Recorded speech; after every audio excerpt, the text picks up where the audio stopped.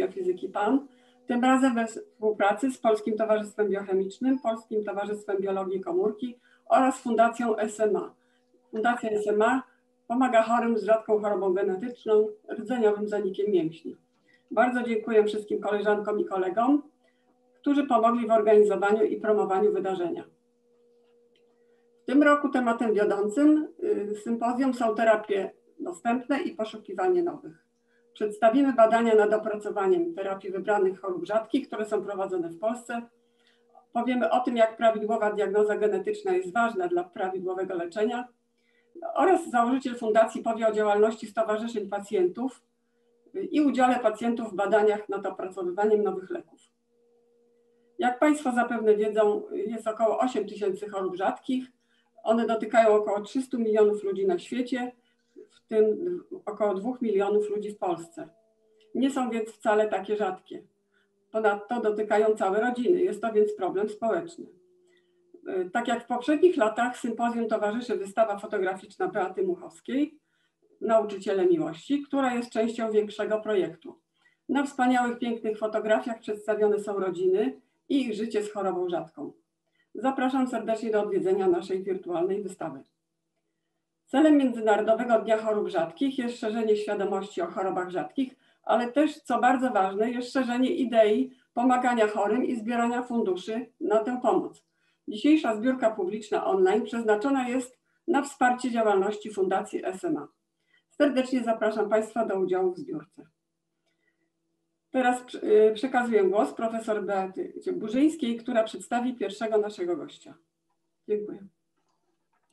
Dzień dobry Państwu. E, pierwszym naszym gościem jest pan profesor e, Józef Dulak. Pan profesor mm, jest kierownikiem Zakładu Biotechnologii Medycznej na Wydziale Biochemii, Biofizyki i Biotechnologii Uniwersytetu Jagiellońskiego.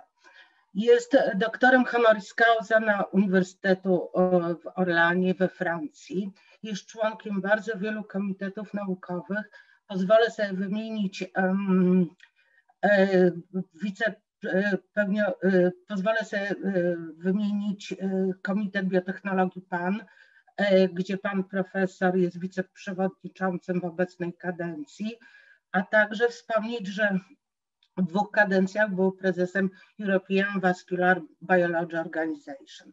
Prowadził badania na wielu światowych, renomowanych ośrodkach naukowych, w tym na Uniwersytecie Stanforda. Pan profesor e, jest autorem, współautorem ponad 250 publikacji, w tym wiele prac e, dotyczyło komórek macierzystych i były opublikowane w bardzo prestiżowych e, czasopismach. Jego publikacje były cytowane przez innych badaczy ponad 8200 razy.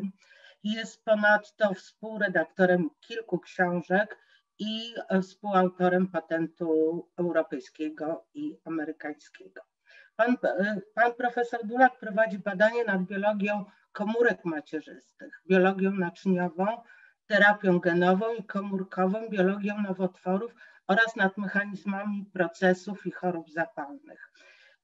W kontekście naszego sympozjum należy podkreślić, że jest popularyzatorem nauki, e, zajmuje się bioetyką i społeczną rolą nauki. W trakcie dzisiejszego wykładu pan profesor omówi możliwości potwierdzone zastosowania komórek macierzystych, a także przedstawi wątpliwości i niebezpieczeństwa dotyczące niektórych terapii. E, panie profesorze, zapraszam. E, dziękuję bardzo. Dzień dobry Państwu. Czy mnie słychać? Tak. Słychać. Świetnie słychać. Dziękuję bardzo. Bardzo serdecznie dziękuję pani profesor Teresie Żołądek i pani profesor Beacie Burzyńskiej oraz wszystkim organizatorom za zaproszenie i za możliwość podzielenia się z Państwem E, moimi przemyśleniami na temat e, możliwości ograniczenia terapii komórkami macierzystymi w chorobach rzadkich. Ja teraz podzielę się z Państwem ekranem. I czy ten ekran już widać? Czy widoczny jest ekran? Tak, jest tak. widoczny. Tak. Świetnie, to teraz jeszcze tylko opcję wskaźnika, wskaźnik laserowy. Dobrze. A więc tak jak e, pani profesor Burzyńska e, wspomniała, e, tematem mojego dzisiejszego wystąpienia są możliwości ograniczenia terapii komórkami macierzystymi w chorobach rzadkich. Ja rozpocznę od takiej informacji, która myślę, że jest ważna w kontekście tego, o czym będę mówił. Prowadzę badania naukowe, zajmuję się badaniami, mój zespół zajmuje się badaniami podstawowymi, realizujemy projekty badawcze finansowane przez Narodowe Centrum Nauki, NCBR, Komisję Europejską, także Ministerstwo Zdrowia, Nauki wcześniej. I nie oferowałem, nie oferuję komercyjnie żadnych terapii z wykorzystaniem komórek macierzystych, w tym terapii opartych o indukowane pluripotencjalne komórki e, macierzyste. Co to są komórki macierzyste? To termin, jak sądzę, powszechnie znany, nawet na laikom. Wiemy o tym, że komórki macierzyste pomogły setkom tysięcy chorych na choroby krwi. Możliwe jest leczenie ciężkich oparzeń i uszkodzeń rogówki za pomocą komórek macierzystych. Ale z terminem tym związane są także nieporozumienia i problemy. Informacje na temat terapii komórkami macierzystymi są wszechobecne w internecie, oferując ciężko chorym pacjentom oraz ich rodzinom nadzieję w sytuacjach wydawałoby się bez wyjścia. Lektura takich ogłoszeń sugeruje, że na każdy problem jest rozwiązanie, że nawet najcięższe choroby można leczyć za pomocą komórek macierzystych. Wystarczy tylko po nie sięgnąć. Ale wcześniej niestety trzeba sięgnąć do portfela. I ten slajd jest przykładem tego typu informacji, które zapewne wielu z Państwa, być może wszyscy widzieliście e, w internecie. Tutaj informacja o zbiórce na potrzeby jednego z lekarzy, który zachorował na stwardnienie zanikowe boczne i jak się dowiadujemy z tych tekstów, ta terapia ma kosztować 3,5 miliona złotych. To miała być terapia w Izraelu. Ostatecznie ten pan pojechał do e, Korei, gdzie ta terapia okazała się trochę tańsza, około 2 milionów złotych, o ile dobrze pamiętam. Ale tego typu informacje znajdują się również na polskich stronach internetowych i zapewne Możecie, mogliście Państwo się o tym, o tym przekonać. Wydawałoby się, że to, co w Polsce jest oferowane, no to jest bardzo korzystne, ponieważ jest znacznie tańsze, tylko kilkadziesiąt czy kilkaset tysięcy, e, tysięcy e, złotych.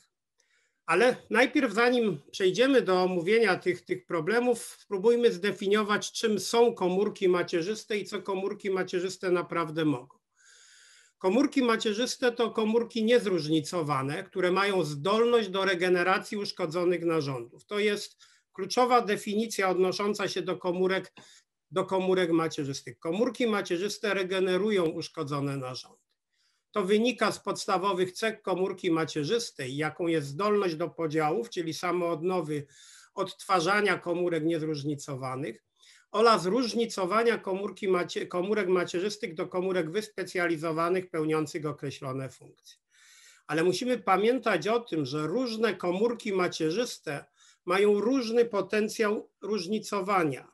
Nie ma tak, że każda komórka macierzysta może zrobić to, czego się od niej oczekuje. Ten schemat pokazuje to, co, o czym przed chwilą wspomniałem, a więc komórka macierzysta niezróżnicowana ma zdolność do samoodnowy i w zależności od swojego potencjału może różnicować albo do jednego typu komórek i mamy wtedy do czynienia z komórkami unipotencjalnymi, albo do wielu typów komórek wywodzących się, tak jak to biolodzy określają, z jednego listka zarodkowego. I wtedy mówimy o komórkach macierzystych multipotencjalnych, i wreszcie mamy do czynienia z komórkami pluripotencjalnymi, które mogą różnicować do praktycznie wszystkich typów komórek, za wyjątkiem e, komórek, e, komórek łożyska. Ten schemat, ten slajd pokazuje te, te, te, ten podział w trochę innym, innym kontekście. Chcę zwrócić uwagę, że pluripotencjalne komórki macierzyste to są komórki, które właściwie istnieją albo tylko krótko w okresie rozwojowym, ponieważ to są komórki warstwy wewnętrznej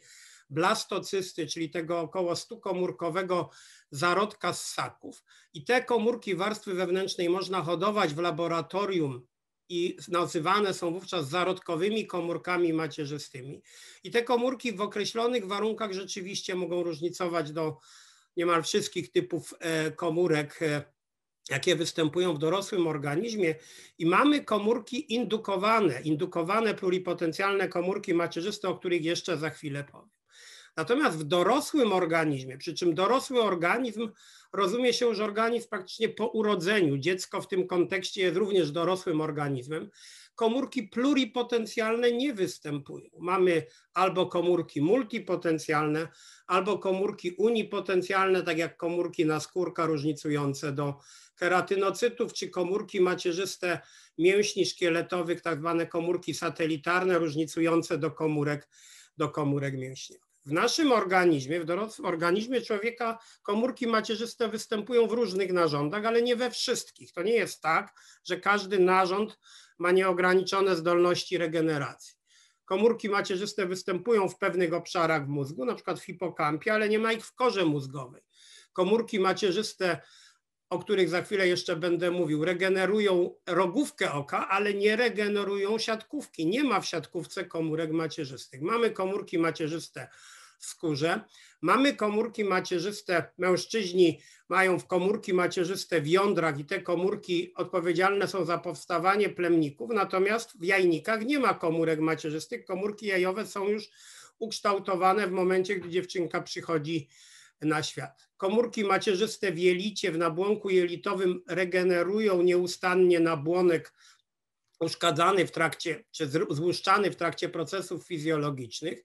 Mamy, jak wspomniałem, komórki macierzyste w mięśniach szkieletowych, ale nie ma komórek macierzystych dla komórek mięśnia sercowego, dla kardiomiocytów.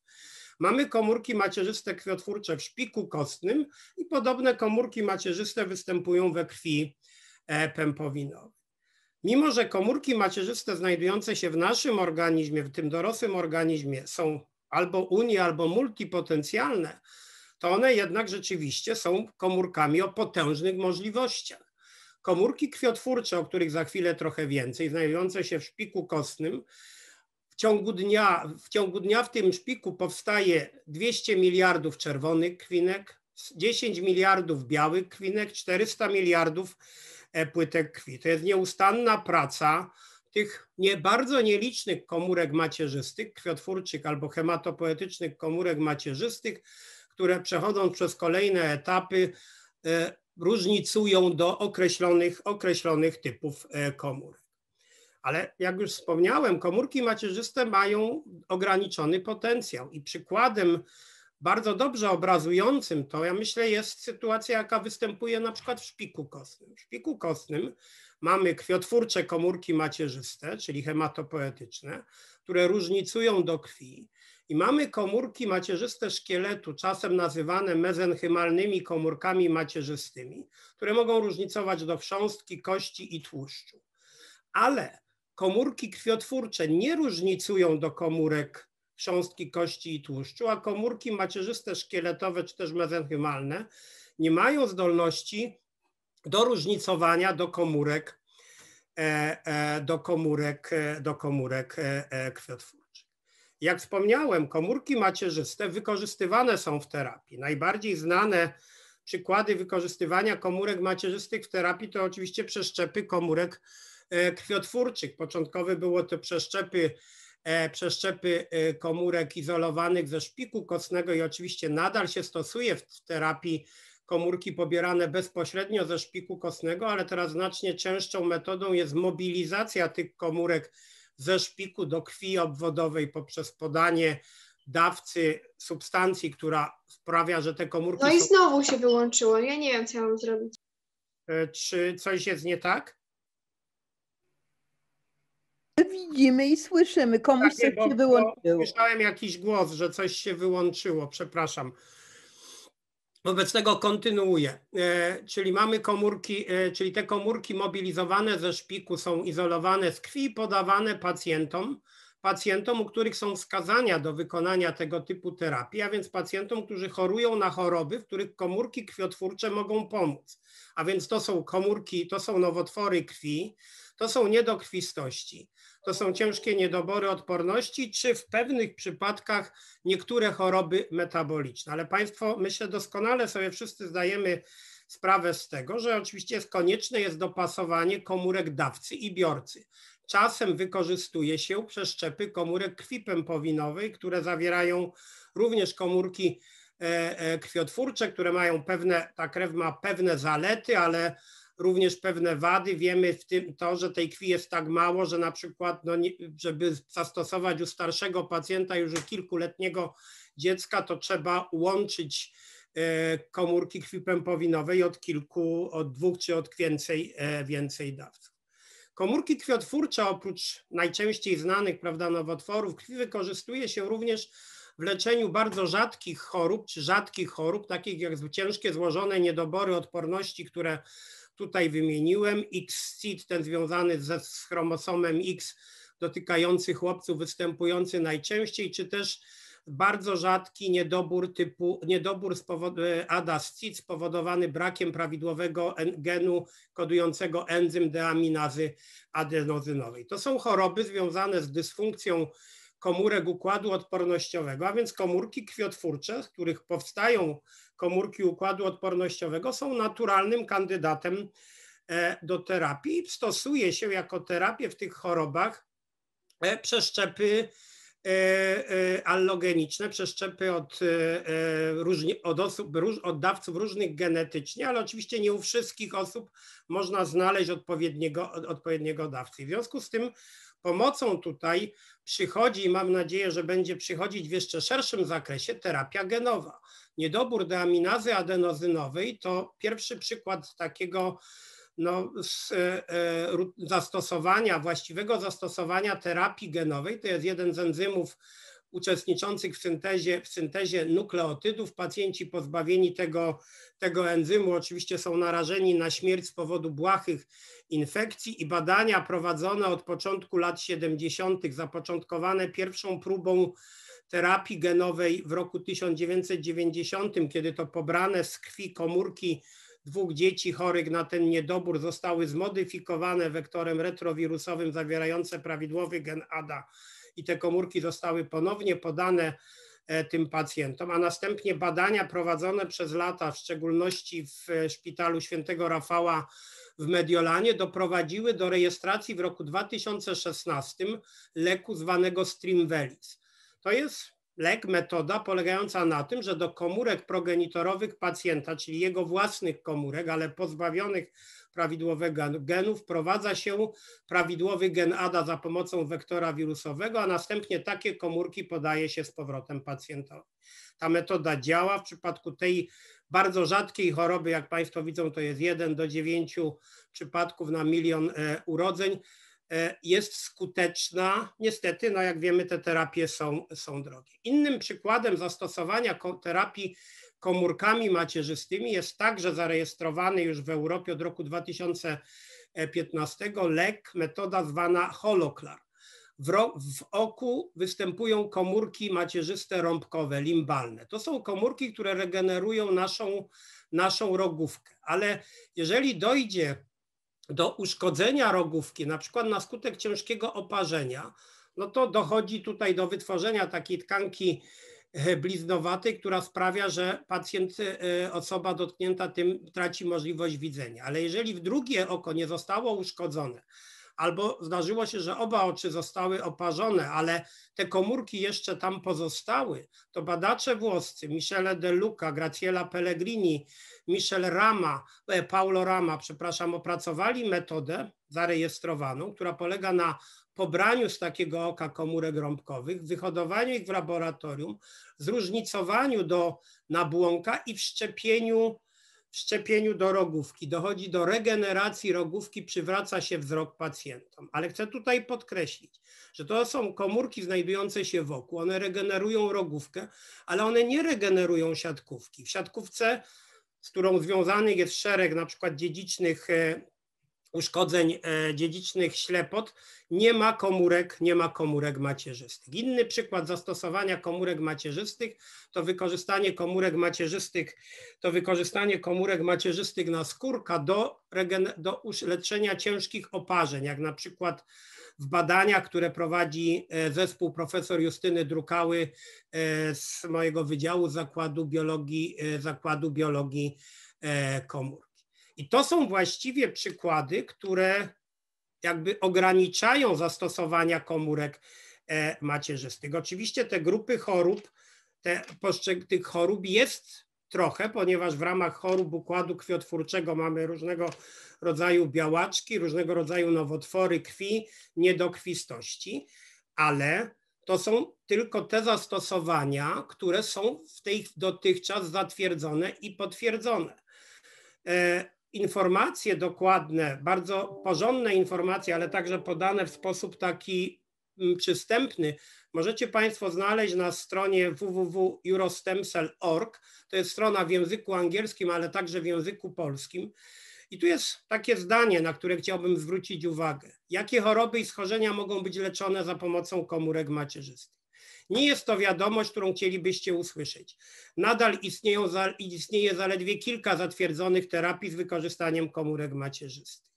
Czyli te przykłady, które tutaj podałem. Oczywiście prowadzone są badania kliniczne, jak na przykład fantastyczna praca, która ukazała się w roku 2017, badania i terapia przeprowadzona przez zespół niemieckich lekarzy i wspomnianych badaczy włoskich, tych, którzy opracowali metodę Holoklar, która to eksperymentalna terapia uratowała życie ciężko choremu chłopcu syryjskiemu chorującemu na E, e, złuszczanie e, na skórkę, epidermolizis bullosa, jedną z odmian spowodowanych brakiem prawidłowego genu lamininy 322, ale to jest metoda, która wykorzystała te komórki, które normalnie funkcjonują w skórze, ale u tego chłopca są uszkodzone, ponieważ nie mają prawidłowego genu, ale za pomocą terapii genowej ten prawidłowy gen został wprowadzony do komórek macierzystych skóry. Te komórki zróżnicowały do naskórka. Udało się uzyskać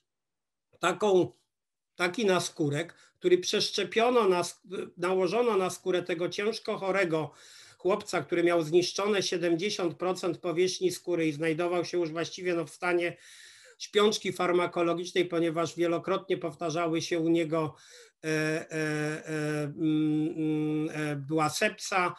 I po zastosowaniu tej terapii udało się chłopcu, e, chłopca nie tylko przywrócić do życia, ale sprawić, że ten chłopiec po dwóch latach e, zaczął prowadzić normalne życie, takie jakie dla dzieci obarczonych tą dramatyczną chorobą no jest właściwie niemożliwe. Co jest kluczowe, co chciałbym podkreślić, ci lekarze niemieccy i włoscy nie oznajmili na drugi dzień po zastosowaniu terapii, że zastosowali rewolucyjną terapię. Czekali dwa lata aż się potwierdzi, że rzeczywiście ta metoda, ta metoda działa. W epidermolizis bullosa uzasadnione jest stosowanie komórek macierzystych na skórka różnicujących do wyspecjalizowanych komórek na skórka. To są oczywiście jeszcze terapie eksperymentalne, ale uzasadnione biologicznie i medycznie. Jak wspomniałem, w przypadku na przykład złożonych niedoborów odporności, terapie komórkowe są łączone z terapiami genetycznymi to jest Streamvelis w niedoborze ADA-STIT, to są próby leczenia niedoboru X-STIT, e, to są próby leczenia na przykład beta-talasemii, także zarejestrowana, zarejestrowana terapia. Terapia genowa, o której zapewne będzie mówił pan, e, wspomniał, wspomni pan Kacper Ruciński, jest e, metodą, która przyniosła olbrzymie efekty w, w badaniach i w leczeniu rdzeniowego zaniku mięśni. Jak wiemy, w tej chorobie mamy zarejestrowanych, do leczenia tej choroby mamy zarejestrowany oligonukleotyd antysensowy. Od dwóch lat terapię genową opartą na wektorze AAV, a w ubiegłym roku zarejestrowany został lek doustny, działający podobnie jak nusinersen. Ja więcej na ten temat nie będę mówił, sądzę, że pan Ruciński powie, natomiast chciałbym zwrócić uwagę na istotną rzecz. Rdzeniowy zanik mięśni nie jest chorobą, którą można leczyć za pomocą terapii komórkowych, a już na pewno nie tymi, które są intensywnie ogłaszane w internecie. Fundacja SMA już kilka lat temu zwracała uwagę na swojej stronie internetowej, że to nie jest, że SMA nie jest chorobą, w której można zastosować komórki, komórki macierzyste. To, na co podkreślano, że zastosowanie komórek macierzystych ogranicza się do generowania ludzkich motoneuronów z wadą genu SMN1 w celu testowania na nich działania nowych leków. Obecnie żaden z szanujących się ośrodków badawczych nie eksperymentuje z podawaniem komórek macierzystych chorym na SMA. To jest informacja zaczerpnięta ze strony e, tejże fundacji. Komórki, które mogą być wykorzystywane właśnie do badania mechanizmów chorób, testowania leków i medycyny regeneracyjnej, ale przede wszystkim do tych dwóch pierwszych celów wymienionych na początku, to są indukowane pluripotencjalne komórki macierzyste, które już wcześniej wspomniałem. Za opracowanie tej metody Shinya Yamanaka uzyskał w roku 2012 Nagrodę Nobla. Ta metoda pozwala na reprogramowanie komórek somatycznych, już zróżnicowanych, takich jak fibroblasty, ale na przykład także takich jak komórki, komórki krwi, komórki krwi obwodowej za pomocą manipulacji genetycznych polegających na wprowadzeniu tych genów, które mamy w komórkach, ale one już nie są aktywne, ponieważ one są aktywne we wczesnym okresie rozwojowym, ale wprowadzenie tych genów sprawia, że te komórki zróżnicowane reprogramują, cofają się, mówiąc obrazowo, w rozwoju do tych wczesnych etapów, stają się tymi indukowanymi pluripotencjalnymi komórkami macierzystymi i możemy je różnicować do wielu typów komórek. Mięśni szkieletowych, kardiomiocytów, neuronów, komórek śródbłąka i wielu, wielu innych typów, podobnie jak zarodkowe komórki, e, e, komórki, e, komórki macierzyste. I tutaj Państwo widzicie nasze badania, których prowadzimy między innymi nad wykorzystaniem tej techniki do badania mechanizmów kardiopomiopatii w dystrofii mięśniowej Duchenne'a, gdzie uzyskujemy takie komórki IPS-y z krwi, reprogramując krew obwodową pacjentów, komórki krwi obwodowej pacjentów i następnie różnicując je do kardiomiocytów innych typów, innych typów, e, e, e typów e, e, komórek.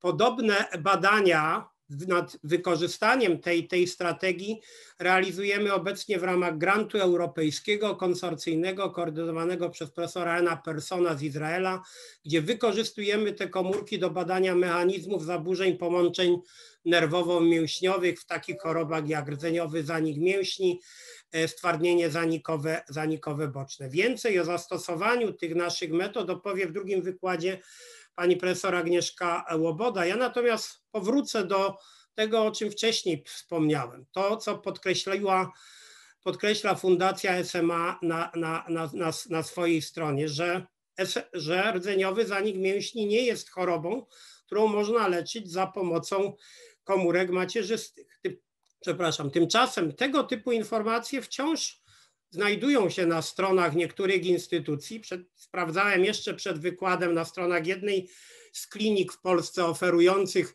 terapię komórkami nazywanych macierzystymi. Jest informacja o leczeniu SMA za pomocą komórek macierzystych. Ale to, co chciałbym podkreślić, co wcześniej mówiłem, komórki macierzyste izolowane z tkanek są skuteczne w leczeniu chorób ale one muszą być dopasowane do tkanki i do narządu i powinny być także dopasowane pod względem zgodności tkankowej.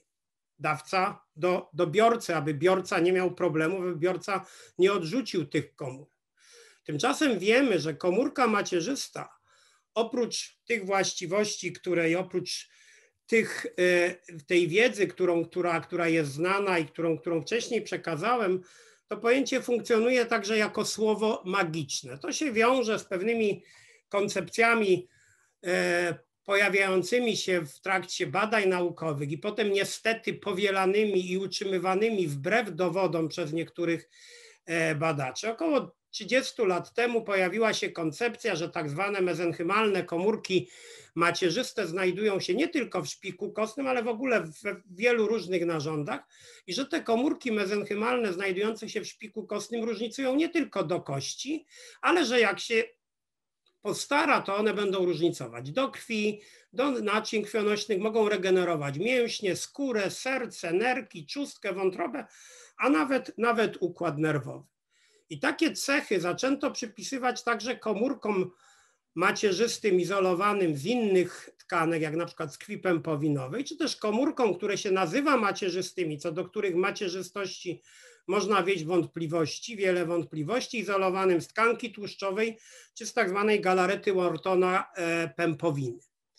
Chciałbym podkreślić po raz kolejny, że dotychczasowe skuteczne zastosowania komórek macierzystych sprowadzają się do zastosowań homologicznych tak jak ratunkiem w niewydolności serca jest przestrzep serca, a nie nerki, tak komórki macierzyste działają w określonych homologicznych zastosowaniach. Komórki macierzyste krwiotwórcze w chorobach krwi, komórki macierzyste naskórka w chorobach skóry, w oparzeniach, chorobach skóry, komórki rąbkowe regenerują rogówkę.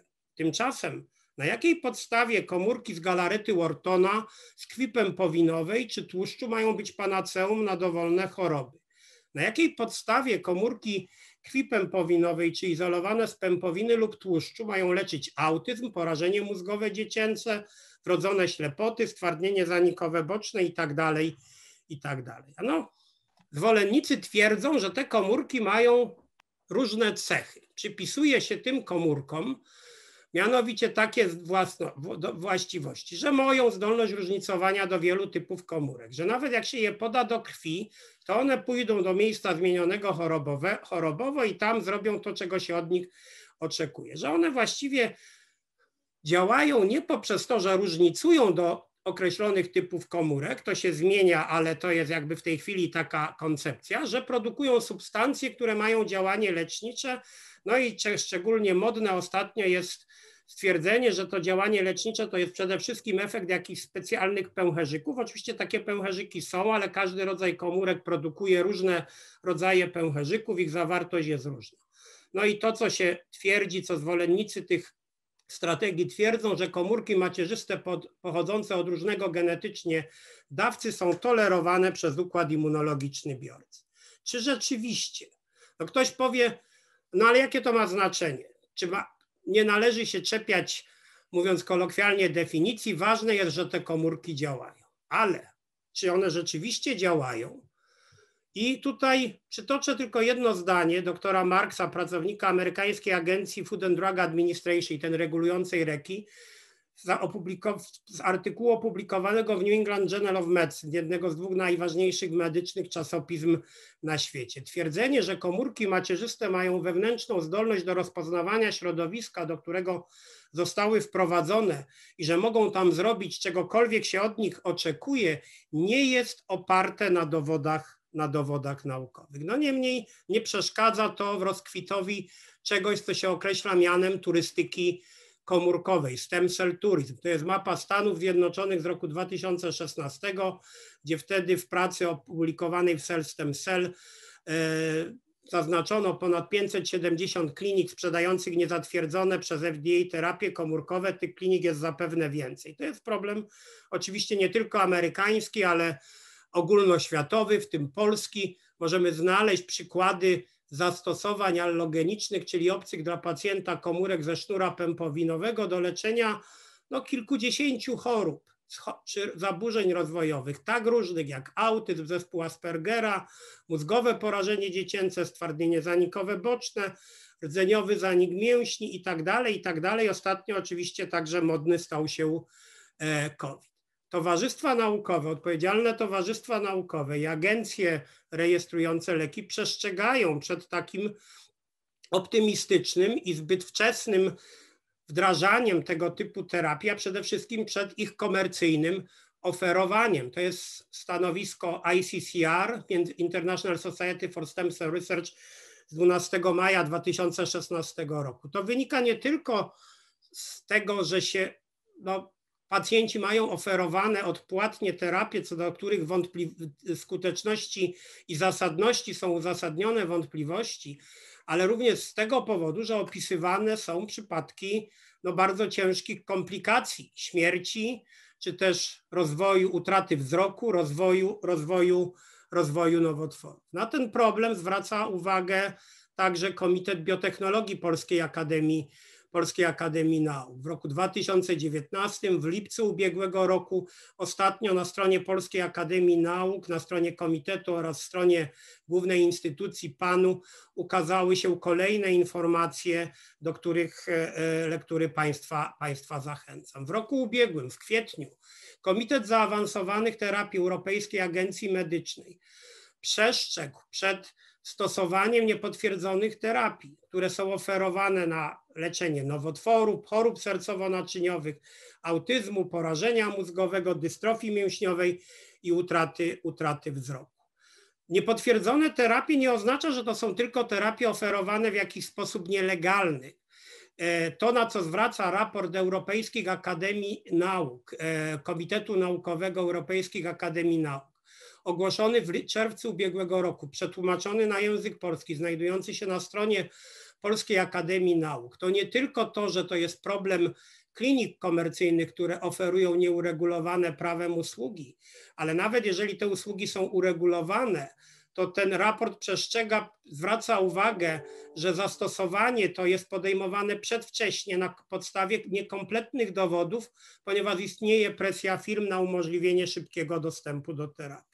Na temat tych problemów szerzej dyskutowaliśmy podczas webinarium, które zorganizowaliśmy 25, przepraszam, nie grudnia, tylko listopada ubiegłego, ubiegłego roku. Raport z tego webinarium jest dostępny na stronie e, Polskiej, e, Polskiej Akademii Nauk. A więc kończąc moje, moje wystąpienie, chciałbym przywołać głos byłego prezydenta ICCR, wybitnego badacza komórek macierzystych i kardiologa dziecięcego, opublikowany w roku 2019. Nie wierz we wszystko, co słyszysz o komórkach macierzystych. Nie jest prawdą, że za pomocą jednego rodzaju komórek nazywanych macierzystymi możemy leczyć dowolne choroby. Nie jest prawdą, że komórki macierzyste wzięte z dowolnej tkanki mogą być używane do leczenia innych niezwiązanych chorób, a czerwona lampka powinna się zapalić za każdym razem, gdy dowodem na skuteczność terapii są świadectwa pacjentów.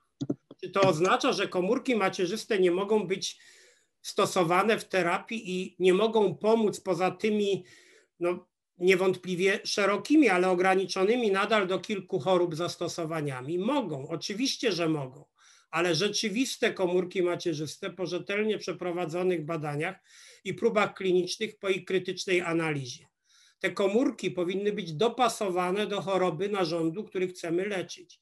Muszą być dopasowane genetycznie do pacjenta. W przeciwnym razie zostaną odrzucone. I oczywiście to, co jest podstawą, to zanim dojdzie do jakiejkolwiek komercjalizacji, oferowania czegokolwiek pacjentowi, to te, takie, taka oferta powinna być pod, poprzedzona licznymi badaniami. I musimy pamiętać o tym, że zastosowanie komórek macierzystych to nie tylko terapia, medycyna regeneracyjna, ale także badania mechanizmów chorób i testowanie leków i tymi zagadnieniami zajmujemy się w naszym zakładzie, w naszym zespole. Tak jak wspomniałem, profesor Łoboda opowie więcej o tych naszych badaniach, a ja kończąc chciałbym podziękować moim współpracownikom oraz e, lekarzom i pacjentom z klinik E, w, Warszawskim Uniwersytecie Medycznym, e, Kolegium Medicum w Krakowie, Gdańskim Uniwersytecie Medycznym, dzięki współpraca z którymi mamy nadzieję pomoże nam lepiej zrozumieć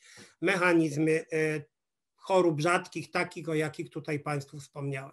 Dziękuję Państwu za uwagę. Doktor Janna Kamińska. Doktor Kamińska tytuł doktora nauk biologicznych zdobyła w Zakładzie Genetyki Instytutu Biochemii i Biofizyki Y, długoterminowy staż podoktorski odbyła w Uniwersytecie Genewskim, po którym wróciła do IBB i tu zdobyła stopień doktora habilitowanego. Pracuje w pracowni genetyki i biologii molekularnej drożdży, gdzie bada procesy syntezy i transportu białek i lipidów w komórkach modelowego organizmu eukariotycznego, jakim są drożdże.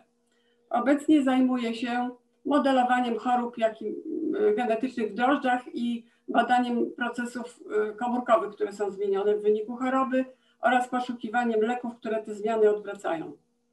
Jest edytorem wydania specjalnego na temat wykorzystywania drożdży do badań y, mechanizmów molekularnych chorób neurodegeneracyjnych w czasopiśmie International Journal of Molecular Sciences, gdzie między innymi te wyniki są opublikowane. I o tym właśnie opowie nam dzisiaj w czasie dzisiejszego wykładu. Bardzo proszę Pani Anna Kamińska. E, dziękuję bardzo. Dziękuję za zaproszenie, danie mi możliwości e, prezentowania e, naszych wyników. Ja nie jestem w przeciwieństwie do moich przedmówców lekarzem i będę pokazywać wyniki. Przepraszam, my też nie jesteśmy. Dobrze, dziękuję będę pokazywać wyniki prac e, takich badawczych e, podstawowych. I chciałam Państwu e, jakby zaprezentować alternatywny sposób podejścia do poszukiwania ścieżek, e, które ścieżek badań w kierunku poszukiwania leków, ale też i zrozumienia mechanizmów e, powstawania chorób. Jeżeli mamy chorego i nawet znamy u niego mutację, która, którą zidentyfikowaliśmy, nie zawsze jesteśmy w stanie E, powiedzieć, że tak, ta mutacja jest, e, powoduje naszą e, chorobę. Stajemy przed problemem ustalenia charakteru patogennego mutacji. Mamy inny problem, jakim jest poszukiwanie samego mechanizmu, w jakim ta mutacja przekłada się na, na chorobę, a także oczywiście chcielibyśmy naszym chorym e, zaproponować jakąś terapię, w związku z tym musimy poszukiwać jakichś leków. I poprzedni wykład pokazywał nam, jak e, podejście, jakim modelem mogą być e, komórki IPSIC. Ja bym chciała pokazać, że pierwsze badania takie, i to na dużą skalę, można przeprowadzić używając modelu, jakim są proste organizmy drożdże, które te badania można dalej e, przeprowadzić ich walidację w innym układzie e, badawczym. Dlaczego drożdże? Drożdże dzielą się szybko, są proste w hodowli, ale też są bardzo dobrze scharakteryzowane. Bardzo wiele rzeczy, które wiemy na temat tego, jak funkcjonują komórki organizmów eukariotycznych, pochodzi z badań nad e, drożdżami i to już zaowocowało wieloma e, na przykład nagrodami Nobla, e, chociażby właśnie za poznanie mechanizmów transportu białek w komórkach. Drożdże jako bardzo dobrze scharakteryzowane, my znamy ich pełen genom już od 96 roku, ale od tamtego czasu żeśmy stworzyli wiele, e, wiele takich bibliotek, e, które pozwalają nam e, przeprowadzać eksperymenty na skalę genomową. Posiadamy kolekcję na przykład szczepów drożdżowych, gdzie każdy kolejny szczep ma delecję następnego, kolejnego genu. Jeżeli taka delecja powoduje, że drożdż nie jest w stanie żyć, jest letalna, to dla tych genów posiadamy z kolei kolekcję y, taką, w których te geny są w fuzji z promotorem regulowanym i możemy ich ekspresję włączyć i wyłączyć w odpowiednim, w odpowiednim dla nas e, czasie. Te zebrane, te wszystkie dane, y, które zostały opracowane z użyciem właśnie tych kolekcji, y, są dostępne. Znamy sieci zależności między genami, znamy też e, sieci oddziaływań białek. E, przeprowadzona jest bardzo, na dużą skalę była przeprowadzona analiza funkcjonalna genów. My wiemy, w jakich warunkach, które geny są drożdżom potrzebne e, do życia, w jakich warunkach następuje indukcja ich ekspresji. Mamy też bardzo dużo danych związanych mm, z analizą wpływu mutacji w tych genach na działanie białek przez nie kodowanych i jak to przekłada się na funkcjonowanie drożdży.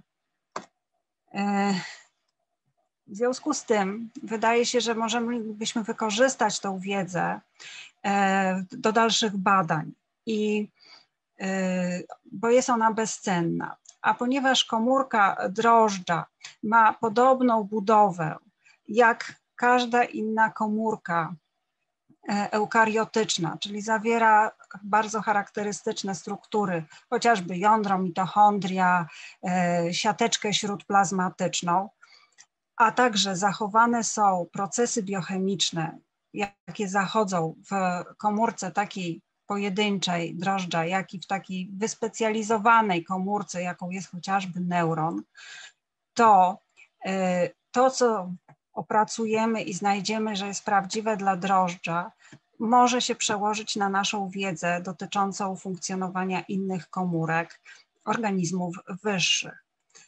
Y, to, że zachowana jest i struktura i funkcjonowanie tych komórek, wynika po części z tego, że duża część genów, jakie mm, są e, w genomie ludzkim, mają też swoje odpowiedniki w genomie e, drożdży. Mówimy o genach homologicznych. Tutaj są zaznaczone i wypisane tylko takie homologiczne pary genów ludzkich i drożdżowych, których mutacje wiemy, że prowadzą do e, chorób z kręgu Charcot-Marie-Tooth, którymi częściowo się zajmujemy. Jak można wykorzystać taki model drożdżowy? Mamy dwa, dwie takie, dwa przypadki, że istnieje gen homologiczny, gen e, drożdżowy do genu ludzkiego, albo takiego genu brak. Jeżeli występuje taki homologiczny drożdżowy gen do genu ludzkiego, możemy przeprowadzić analizę funkcjonalną wpływu na przykład mutacji, jaka jest znaleziona u chorego, przez, wprowadzając analogiczną mutację do genu drożdżowego. Możemy teraz takiego mutanta scharakteryzować fenotypowo. U drożdży bardzo prosto i szukamy najlepiej takiego fenotypu, który daje bardzo łatwy do, do, do śledzenia fenotyp, jakim jest, że drożdże rosną albo nie rosną. Różni, różnica polega na tym, czy mają mutacje, czy nie mają mutacji. To może być w obie strony, że szczep bez mutacji nie rośnie, a z mutacją rośnie, albo odwrotnie. Mając już taki fenotyp, kiedy rozróżnicowujemy te dwie sytuacje, możemy przystąpić do poszukiwania związków potencjalnych leków, jak też i genów, które modyfikują ten e, nasz fenotyp. To, co znajdziemy, oczywiście musimy przeprowadzić walidację w innych modelach badawczych. Jeżeli nie mamy genu, który jest genem homologicznym do genu ludzkiego, to i tak jeszcze nie wyklucza to użycia drożdży do badań, ponieważ ba można taki gen dalej do drożdży wprowadzić i możemy zaobserwować efekty ekspresji tego genu. Tak było na przykład robione w badaniach i wprowadzony był gen kodujący alfa-synukleinę, którego w drożdżach nie ma. Ekspresja tego genu kodującego alfa-synukleinę jest dla drożdży toksyczna i to pozwoliło na poszukiwanie jakich, jaki jest mechanizm toksyczności alfa-synukleiny dla komórek. W związku z tym to, co należy i, i co potrzebujemy uzyskać, to jest znaleźć takie warunki albo takie mutanty, w których zaobserwujemy fenotyp. Ponownie, tak jak poprzednio, po prostu, że rośnie albo nasze drożdże nie rosną, w zależności od tego, czy jest, czy nie ma wprowadzonego genu ludzkiego. Jeżeli już mamy taki fenotyp, no to tak samo jak już opisałam, robimy analizy genetyczne, poszukując genów modyfikujących, jak też i związków modyfikujących ten fenotyp. My używamy takiego podejścia i modelujemy e, dwie grupy chorób. Jedne to są e, choroby ośrodkowego układu nerwowego, z, które są wywołane, związane z mutacjami w genach VPS13. Są cztery geny u ludzi, VPS13 A do D. Mutacje w tych genach prowadzą do do, do, różnych chorób neurologicznych czy, czy, czy neurorozwojowych. E, I tutaj dla genów VPS13 mamy w drożdżach homologiczny gen, gen VPS13, tylko że drożdże mają tylko jedną, jeden ten gen.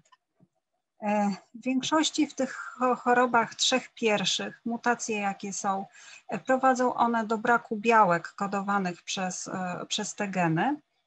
W związku z tym naszym modelem badawczym jest szczep drożdży, w którym nie ma genu VPS13. A drugą grupą chorób, jaką modelujemy, zaczęliśmy modelować, to są choroby obwodowego układu nerwowego. Na razie zajmujemy się e, mutacjami w genie GDAP1 i mutacje te prowadzą do dziedzicznej neuropatii czuciowo-ruchowej. I to jest przykład genu, którego w drożdżach homologa nie ma. Pierwsze nasze badania, jakie dotyczyły genu VPS13, to było oznaczenie, e, ustalenie, czy mutacja w genie VPS13A, która skutkuje substytucją reszty aminokwasowej izoleucyny 2771 do argininy, jest patogenna. E, gen VPS13A koduje białko choreinę. E, w obszarze, w którym e, znajduje się izoleucyna 2771, wszystkie białka VPS z różnych organizmów są do siebie bardzo podobne i e, w tej pozycji występuje albo izoleucyna, albo leucyna. Odpowiadającą izoleucynie 2771 jest reszta izoleucyny 2749 w drożdżach. I te izoleucyny znajdują się w rejonie o homologii do domeny opisanej jako domena APT1.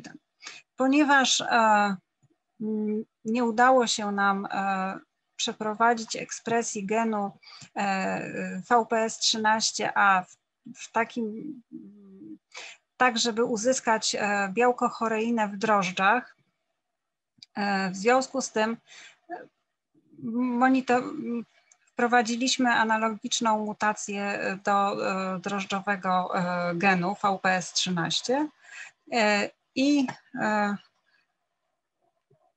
znając fenotyp mutanta VPS13, jakim jest wrażliwość na dodatek do pożywki popularnego detergentu SDS, mogliśmy przetestować wpływ mutacji w genie VPS13A znalezionej u pacjenta, e, czy, ona, czy mutacja ta jest e, patogenna, czy wpływa na działanie białka.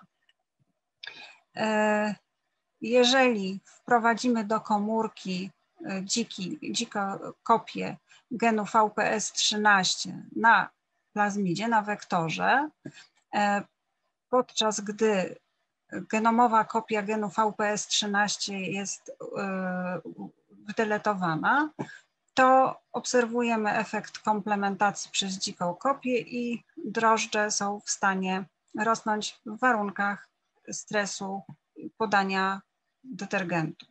Natomiast jeżeli do komórki wprowadzimy allel, który skutkuje substytucją reszty aminokwasowej, okazuje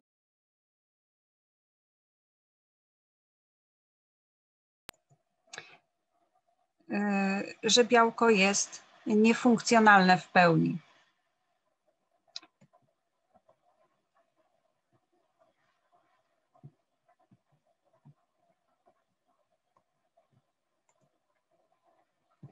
Czy ja jestem słyszalna? Tak, tak słyszymy Cię. Mm, dobrze, dziękuję, bo wyświetliło mi się, że jestem wymutowana. Przez sekundę nie było, teraz jest. Mhm, dziękuję. E, w związku z tym udało nam się przeprowadzić analizę funkcjonalną w przypadku jednej e, z mutacji. Mamy teraz e, fenotyp, znamy fenotyp, jakim jest wrażliwość na detergent i możemy przeprowadzić dalsze, dalsze etapy naszego badania.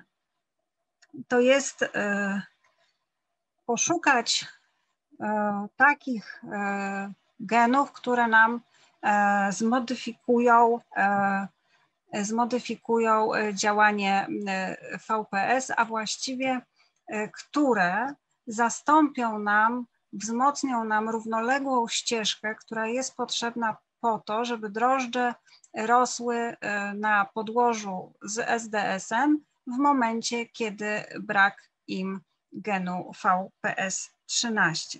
Poszukiwanie takiego e, sposobu wzmocnienia tych ścieżek oczywiście można, e, może to być wzmocnienie genetyczne, może być to wzmocnienie farmakologiczne. O podobnym, podobnej ścieżce było w poprzednim e, wykładzie, kiedy brak dystrofiny było była jest próba podjęta zastosowania utrofiny, zwiększenia tutaj jakby drugiej ścieżki przez zwiększenie produkcji w ogóle włączenie produkcji białka utrofiny. Myśmy zastosowali to podejście i przeszukaliśmy bibliotekę genomową drożdży e, w poszukiwaniu takich genów, których jeżeli do, wprowadzimy dodatkowe kopie, a więc zwiększymy produkcję białek kodowanych przez gen, e, to pozwoli to rosnąć naszym drożdżom w warunkach stresowych, a więc wzmocnimy tą drugą równoległą ścieżkę buforującą brak e, VPS 13. Znaleźliśmy, kilk, jak to się robi. E, mamy e, wektory, plazmidy, w których są fragmenty genomu drożdży. I szukamy takich plazmidów, które warunkują nam wzrost po wprowadzeniu do naszego mutanta, warunkują nam temu mutantowi wzrost w testowych dla nas e, warunkach. Znaleźliśmy kilka takich plazmidów, ja po kolei będę je pokazywać. E, na jednym z nich e, był fragment genu kodującego miozynę i ten fragment genu koduje N-końcowy fragment białka miozyny trzeciej z domeną motoryczną i takimi powtórzeniami domen EQ. E, I okazało się, że te dwie powtórzenia tych e, motywu IQ, one są niezbędne do tego, żeby nasze nadprodukowane białko działało. I znając, znaczy właśnie to, co jest w dane, dane literaturowe, plus to, że na innym plazmidzie znaleźliśmy gen RCN2, który jest negatywnym E, regulatorem fosfatazy zależnej od wapnia, jaką jest kalcyneuryna, do zbudowania modelu. E, miozyna swoimi e, powtórzeniami IQ wiąże się do białka kalmoduliny. Jest to białko, które aktywuje też kalcyneurynę w sposób zależny od wapnia. Sama kalcyneuryna jest nieaktywna. Po związaniu z kalmoduliną jest e, e, kalcyneuryna jest aktywna, kalcyneuryna jest fosfatazą. Jeżeli nadprodukujemy gen RCN2, nadprodukujemy białko RCN2, uzyskujemy efekt wyłączenia aktywności kalcyneuryny. W związku z tym pozwoliło nam to zbudować model, który E, mówi, że jeżeli nadprodukujemy fragment MIO, genu MIO3, e, fragment białka, e, nadprodukujemy fragment białka MIO3, to wywiązujemy kalmodulinę, co wyłącza nam kalcyneurynę. Było to zgodne z, z naszym zaznaczeniem aktywności kalcyneuryny, którą znaleźliśmy, że jest zaaktywowana w komórkach mutanta v, pozbawionego genu VPS13 i wprowadzenie naszego fragmentu e, genu MIO3, czyli nadprodukcja e, fragmentu miozyny trzeciej rzeczywiście ogranicza aktywność tej kalcyneuryny. Tym sposobem zaproponowaliśmy ścieżkę, którą można by było przetestować dalej jako ścieżkę potencjalną w terapii e, dla chorych, u których jest deficyt białka VPS 13. Myśmy jeszcze przetestowali dodatkowo związek FK506. Jest to znany inhibitor kalcyneuryny, a dodatkowo jest to znany lek stosowany jako immunosupresant. I czy jest on efektywnym chemicznym e, potencjalnym lekiem do zastosowania e, w, terapii. I tutaj e, to badanie przeprowadzane jest tak, że wysiewane były drożdże na pożywkę mutanta naszego, na pożywkę zawierającą SDS. Nie pozwoliliśmy im rosnąć, tylko rozłożyliśmy krążki bibuły, na które nakroplony był E, związek e, przez nas testowany w różnym stężeniu. Związek ten e, dyfunduje od tych krążków bibuły, tworzy się gradient i obserwujemy, że istnieje pewne stężenie tego związku, przy którym nasze drożdże są w stanie rosnąć. Czyli mniej, mniejsze stężenie, bardzo blisko tutaj krążka obserwujemy wzrost. Wzro Im to stężenie jest wyższe, tym dalej e, to odpowiednie stężenie, które jest, ma dobroczynny wpływ na nasze drożdże i jest tutaj obserwowany w postaci takiego e, pierścienia. To była ścieżka, która doprowadziła nas do e, poznania, zaproponowania, że jednej potencjalnej drogi terapeutycznej, jaką jest inhibowanie ścieżki kalcyneuryny. Natomiast e, też nam to pokazało, że możemy spróbować poszukać innych związków, e, które by mogły być potencjalnymi lekami. I do tego wykorzystaliśmy bibliotekę już e, zarejestrowanych leków. To jest biblioteka Prestwick. I stosując po, po, podobne podejście, jak opisałam przy badaniu wpływu FK506, przebadaliśmy e, ponad 1200 różnych związków.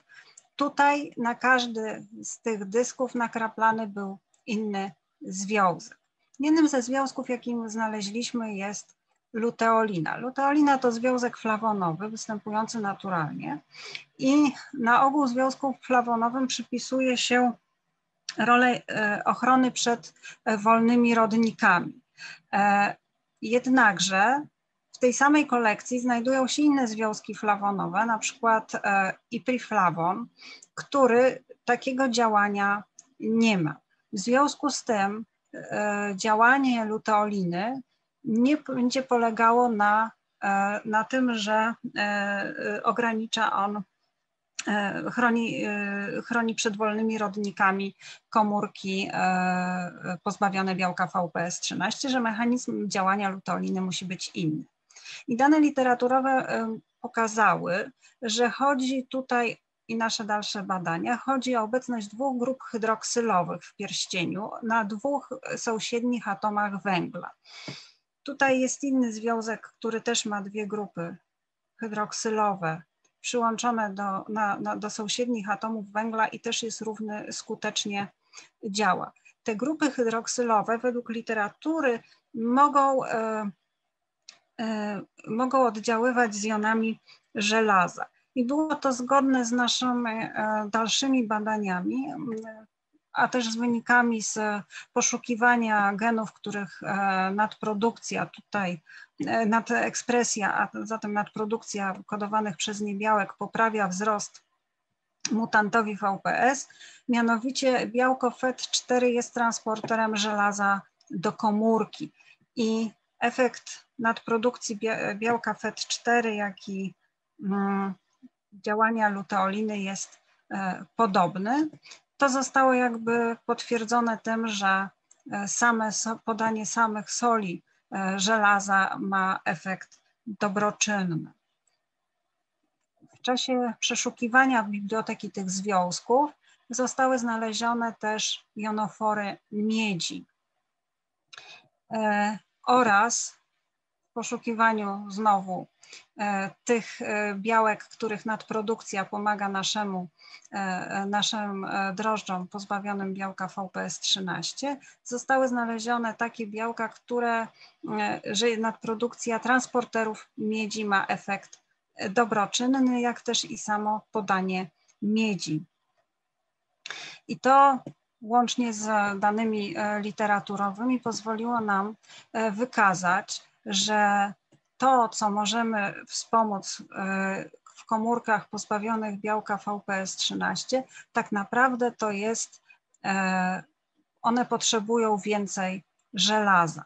Miedź, która jest potrzebna po to, jako kofaktor do wydajnego pobierania żelaza przez wydajny system tutaj pobierania żelaza.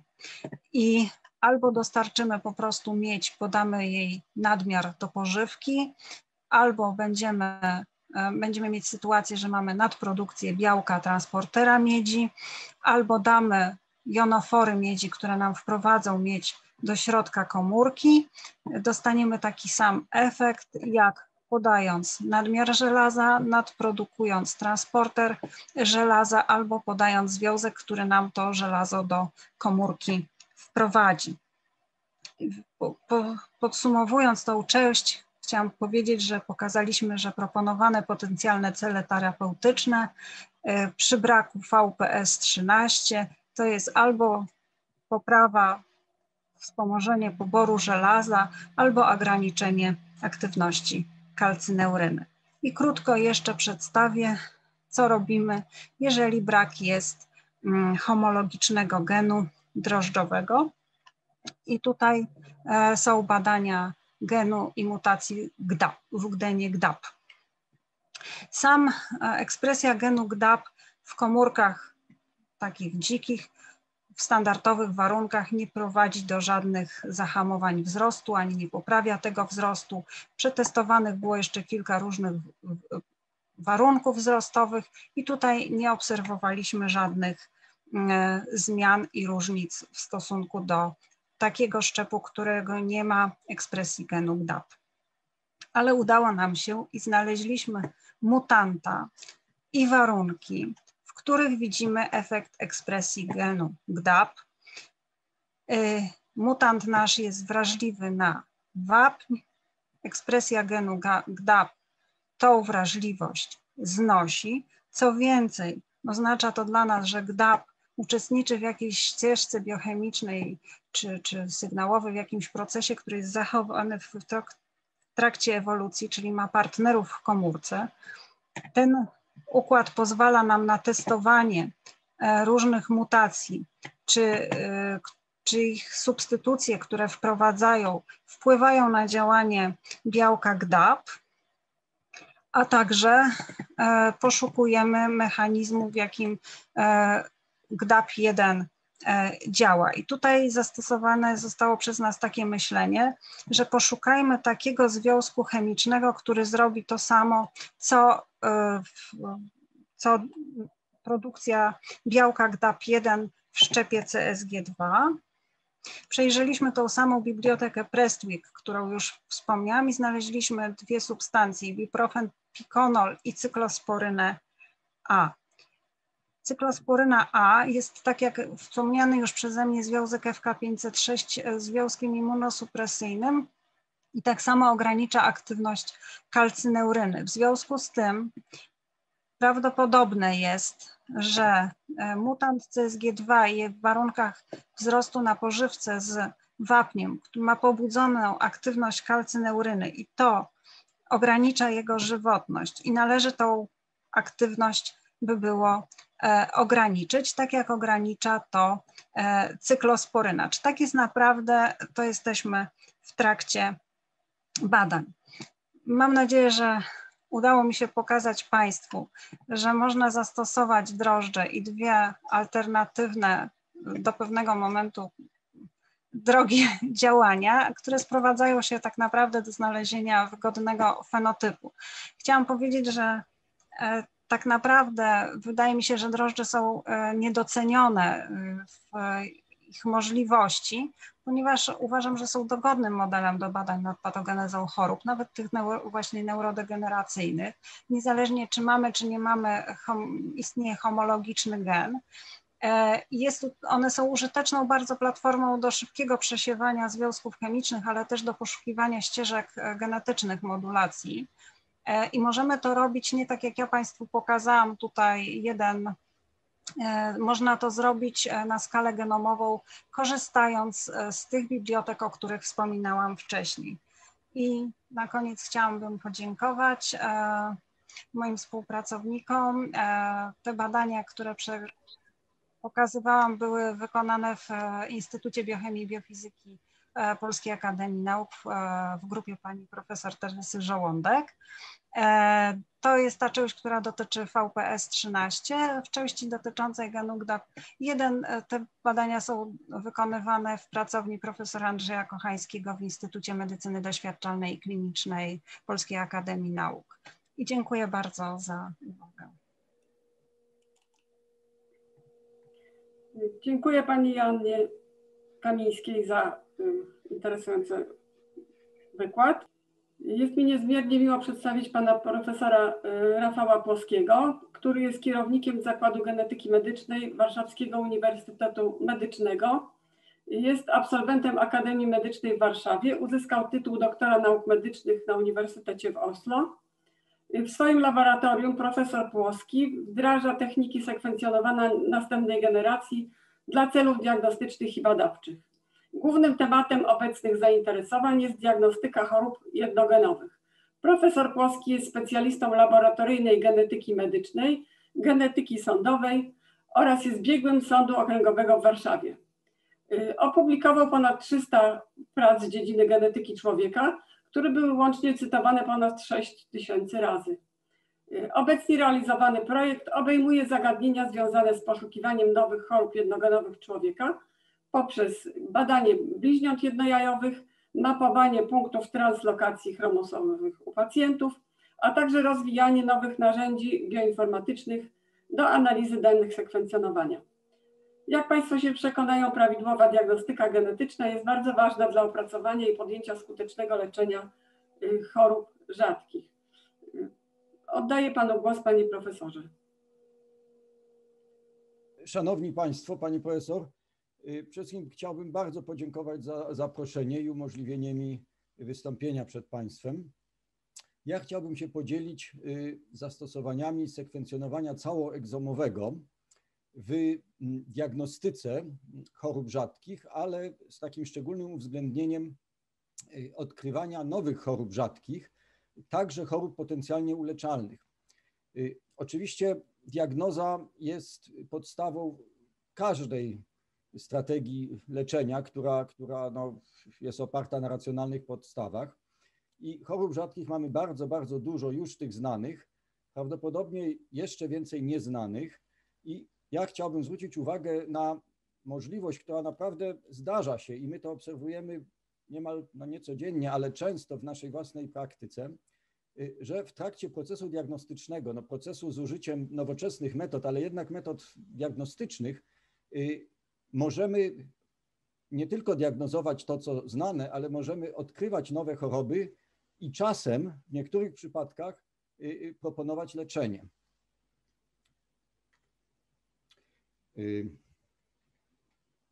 Oj, przepraszam, coś.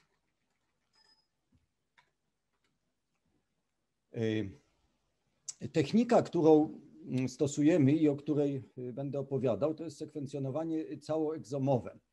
Y, to jest sekwencjonowanie wszystkich znanych genów w zakresie ich y, części kodujących, czyli tych części najważniejszych. To jest obecnie 23 tysiące genów plus minus. Oczywiście nowoczesna metoda możliwa dzięki postępowi technicznemu, który dokonał się w ostatnich latach, ale metoda jak najbardziej działająca i, i wdrożona w naszym laboratorium, także oczywiście w, w innych ośrodkach. Y, zaleta sekwencjonowania całoegzomowego w diagnostyce chorób rzadkich y, to przede wszystkim fakt, że w tych chorobach około 80% mutacji patogennych mutacji lokalizuje się w, właśnie w egzonach, czyli w tych częściach, które sekwencjonujemy. Te egzony z drugiej strony, chociaż oczywiście obejmują duży obszar, to w stosunku do całego genomu jest to około 1%. Więc sekwencjonując około 1% całego genomu, jesteśmy w stanie diagnozować powyżej 80% y, tego, co jest interesujące. Y, kolejną zaletą y, WES-u, czyli sekwencjonowania całoegzomowego, egzomowego, y, to możliwość stosowania jednej uniwersalnej procedury dla wszystkich pacjentów. My się nie musimy zastanawiać w tym momencie, jaki test dobrać dla danego pacjenta, po prostu mamy uniwersalny test.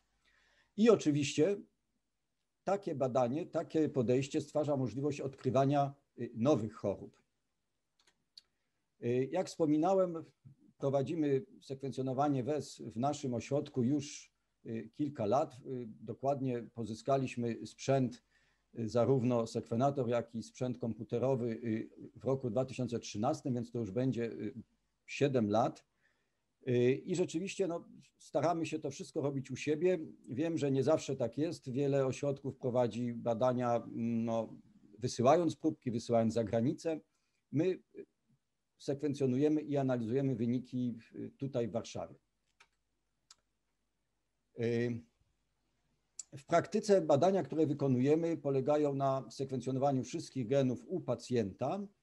Następnie jest analiza wyników i wyodrębnienie podejrzanych wariantów, podejrzanych bądź, bądź już tych no niemal pewnych, ale za każdym razem te warianty są weryfikowane jeszcze raz u pacjenta, a także badane w jego rodzinie, bo jest to ważne do pełnej interpretacji. Wynik badania WES można oglądać na dwa sposoby, można przedstawiać na dwa sposoby. Z jednej strony to jest tabela, której mamy wszystkie znalezione warianty razem z anotacjami dotyczącymi na przykład częstości w bazach danych, y, y, dostępności wiedzy literaturowej na temat patogenności. Takich anotacji oczywiście może być dużo, dużo więcej. Z drugiej strony mamy formę graficzną, y, która pokazuje nam dany wariant w kontekście sekwencji referencyjnej. Pokazuje nam, ile mamy odczytów z danym wariantem, czy jest on homo, czy heterozygotyczny i ogólnie pozwala to ocenić jakość tego wariantu. Oczywiście w analizie posiłkujemy się i jednym, i drugim podejściem. Jeśli chodzi o weryfikację, to złotym standardem jest sekwencjonowanie metodą Sangera, ale najczęściej w chwili obecnej ze względu na dużą ilość badań prowadzimy tą weryfikację też z użyciem sekwencjonowania następnej generacji, tyle że po prostu zamiast sekwencjonować jakby surowe, całkowite DNA pacjenta, sekwencjonujemy produkt PCR zawierający dany wariant. I w ten sposób potwierdzamy ten wariant u pacjenta, a także badamy jego występowanie w rodzinie. Pierwszym pytaniem, jeśli mówi się o jakimkolwiek teście, także teście WES, to jest pytanie o skuteczność w diagnostyce. Jak często jesteśmy w stanie dać, znaleźć diagnozę? Oczywiście to bardzo zależy od tego, jakie jest prawdopodobieństwo, że pacjent w ogóle ma chorobę genetyczną. Nie wszyscy pacjenci, którzy do nas się zgłaszają, mają na pewno chorobę genetyczną, mają podejrzenie choroby genetycznej, ale na pewno niektórzy mają dolegliwości związane z, z, z innego rodzaju patologią. Żeby przekonać się, jak działa WES w jakiś systematyczny sposób, przeanalizowaliśmy 113 pacjentów z podejrzeniem choroby mitochondrialnej i to podejrzenie było kwantyfikowane tak zwaną skalą Niemechen, gdzie wysoka punktacja na skali sugeruje wysokie prawdopodobieństwo choroby, a niska punktacja niskie. Widzą Państwo na slajdzie wykres skuteczności WES w naszym ośrodku w zależności od tej skali Niemechen. I jak widać, ten wykres pokazuje no prawie że liniową zależność. Przy, niskiej, przy niskim prawdopodobieństwu choroby mamy no zerową skuteczność, przy bardzo wysokim niemal stuprocentową. Średnio można powiedzieć, WES okazuje się być skuteczny w 50%. I to jest też wartość, która pojawia się w innych publikacjach z innych ośrodków, zagranicznych ośrodków także. Pacjentowi, który zgłasza się do nas i pyta, jaka jest szansa, że pomożemy znaleźć mu diagnozę, udzielamy mu informacji, że jest to plus minus 50%.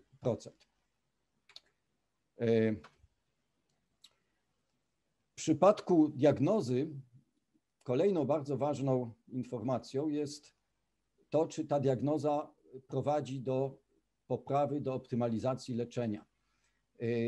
To się troszkę w żargonie nazywa diagnozą akcyjną, czyli, czyli diagnoza, która nie tylko pozwala postawić rozpoznanie, ale diagnozą, która pozwala wpłynąć na leczenie. W idealnym przypadku chcielibyśmy wyleczyć chorobę, ale czasami absolutnie warto też skorzystać z możliwości leczenia, które przynajmniej łagodzi objawy.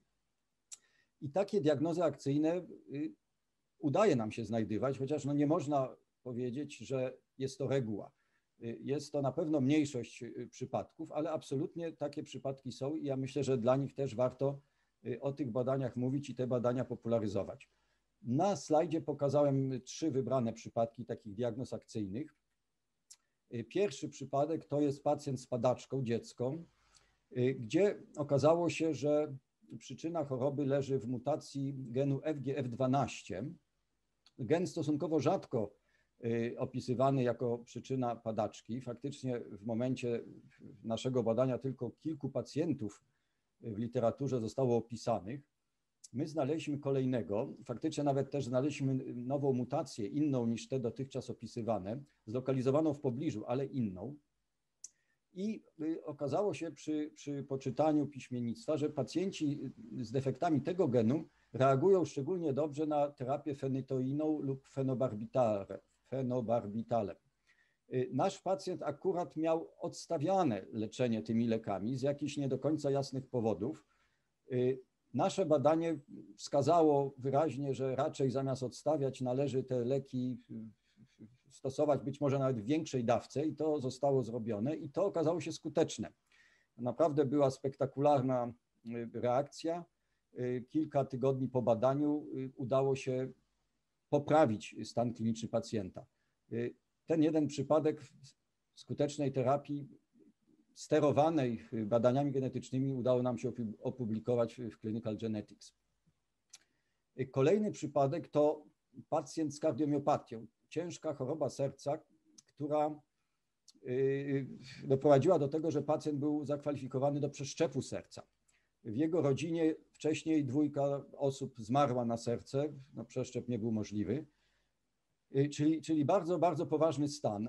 Mm, badanie genetyczne, badanie całoegzomowe wykazało mutację w genie SCN5A, Y, I znowu, mutacje w tym genie okazują się wywoływać chorobę, chorobę serca, która bardzo dobrze reaguje na terapię prostym lekiem chinidyną. Y, I ta terapia została zastosowana i odniosła spektakularny efekt, ponieważ pacjent do tego stopnia y, poprawił się, że tak powiem, że, przepraszam, że został zdyskwalifikowany z, ze wskazań do przeszczepu serca. I do dziś wszystko jest dobrze.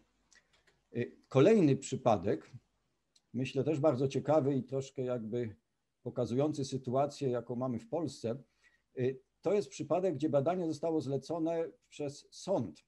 Niestety nasze badania rzadko są zlecane przez szpitale, czy nawet przez lekarzy no, z Państwowej Służby Zdrowia, ponieważ po prostu nie są refundowane i chyba nic nie wskazuje na to, żeby, żeby w najbliższym czasie miały być refundowane, więc kwestia finansowania tego badania jest problemem. Tutaj pokazuję przykład y, zlecenia y, nie ze szpitala, tylko z sądu. Dlaczego sąd zlecił badanie? No dlatego, że mm, y, urodziło się dziecko, które jest chore i rodzice podejrzewali, że przyczyną choroby były błędy przy prowadzeniu ciąży i porodu. I chcieli uzyskać odszkodowanie w związku z tym no, kilkumilionowe. Sąd stwierdził, że jest taka możliwość, że to może nie być skutek błędu lekarskiego, ale skutek choroby wrodzonej uwarunkowanej genetycznie i znalazł środki i zlecił badanie. Okazało się to być bardzo dobrą decyzją, bo znaleźliśmy przyczynę choroby, mutację w genie ALDH7A1. Jest to znany gen, w którym mutacje powodują tego typu chorobę jak, jak u pacjenta. Natomiast co ciekawe, ta choroba jest, ona bardzo dobrze reaguje na stosunkowo proste leczenie witaminą B6. Oczywiście nasza opinia no, oddaliła, spowodowała oddalenie pozwu o, o, o odszkodowanie. Y, przyczyną choroby są mutacje dziedziczne i, i, i, w znanym genie, który powoduje tego typu chorobę. Natomiast ja myślę, że, że finał był naprawdę bardzo szczęśliwy, bo odszkodowania wprawdzie nie będzie, ale za to jest diagnoza, która pozwala y, na leczenie. Oczywiście szkoda, że nie zostało to badanie wykonane wcześniej, wtedy kiedy powinno, przez szpital, po zleceniu przez szpital, czy, czy, czy nawet lekarza poza szpitalem, dopiero sąd musiał się y, jakby tym zająć. Y, w kolejnej części chciałbym króciutko na temat tych nowych chorób. Obecnie, kiedy wykonujemy badanie WES, naprawdę liczymy się bardzo poważnie z możliwością, że u pacjenta możemy znaleźć nową chorobę.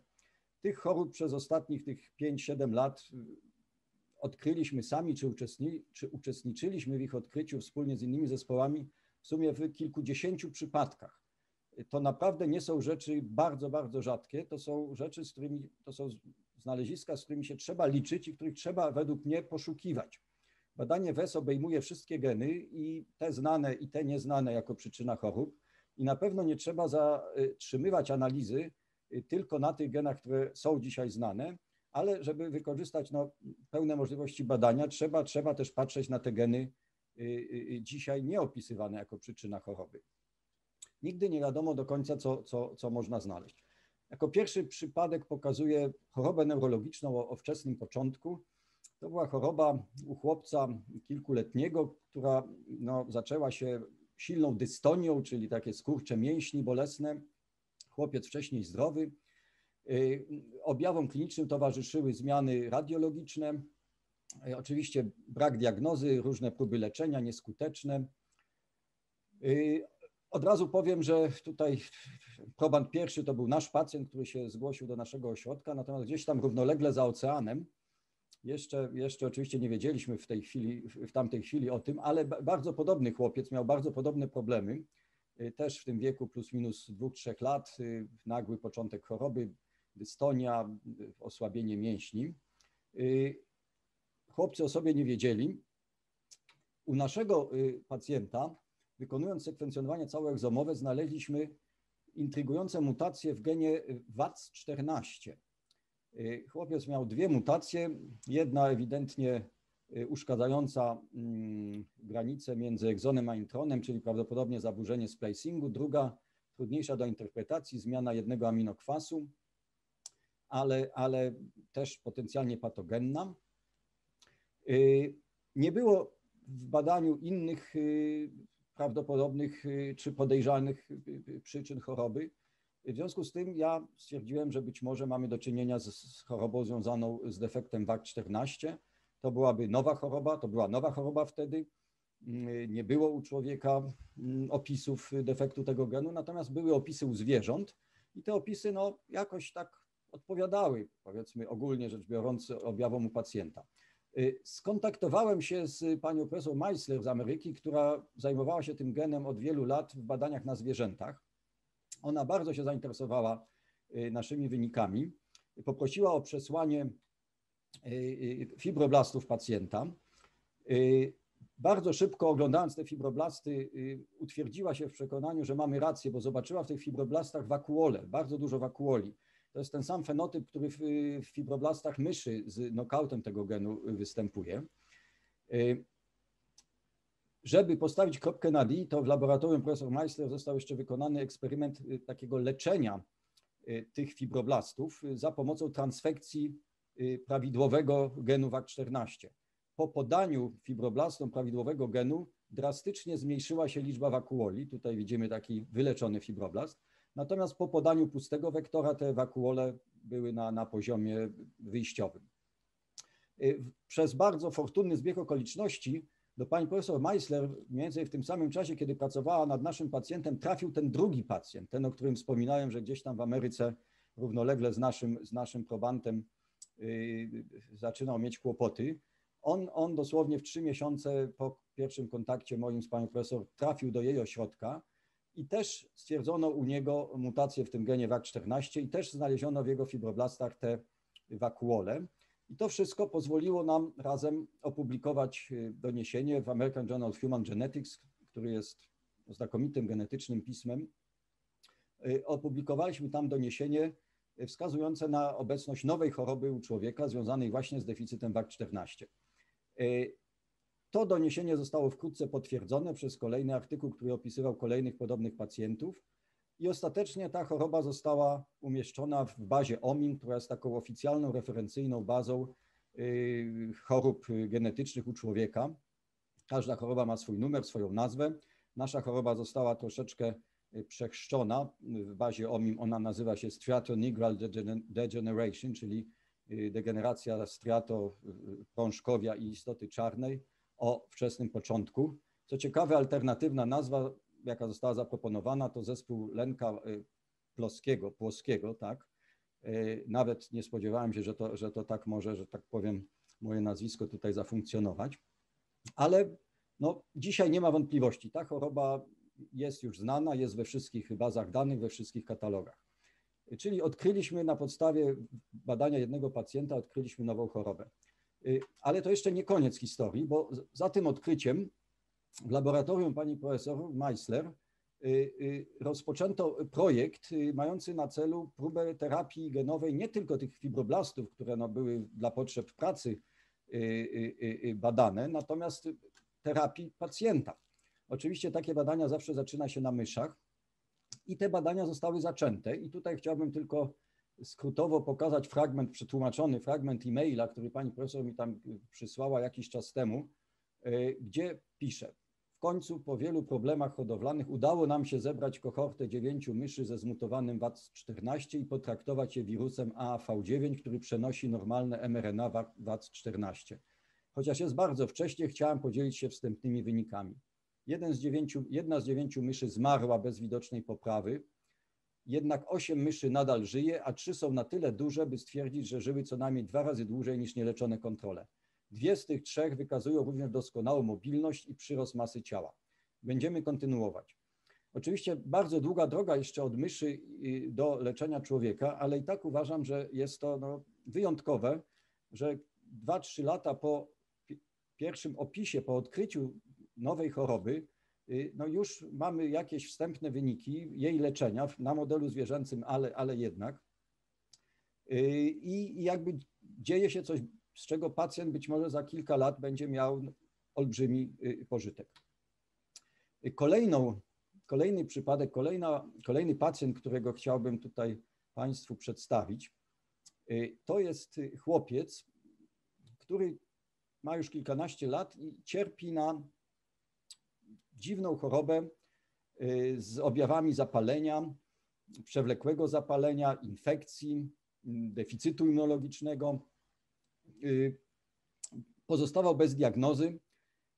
Co ciekawe, pochodził z rodziny, gdzie dwójka kuzynów zmarła z powodu innej super rzadkiej choroby związanej z mutacjami genu CLPB.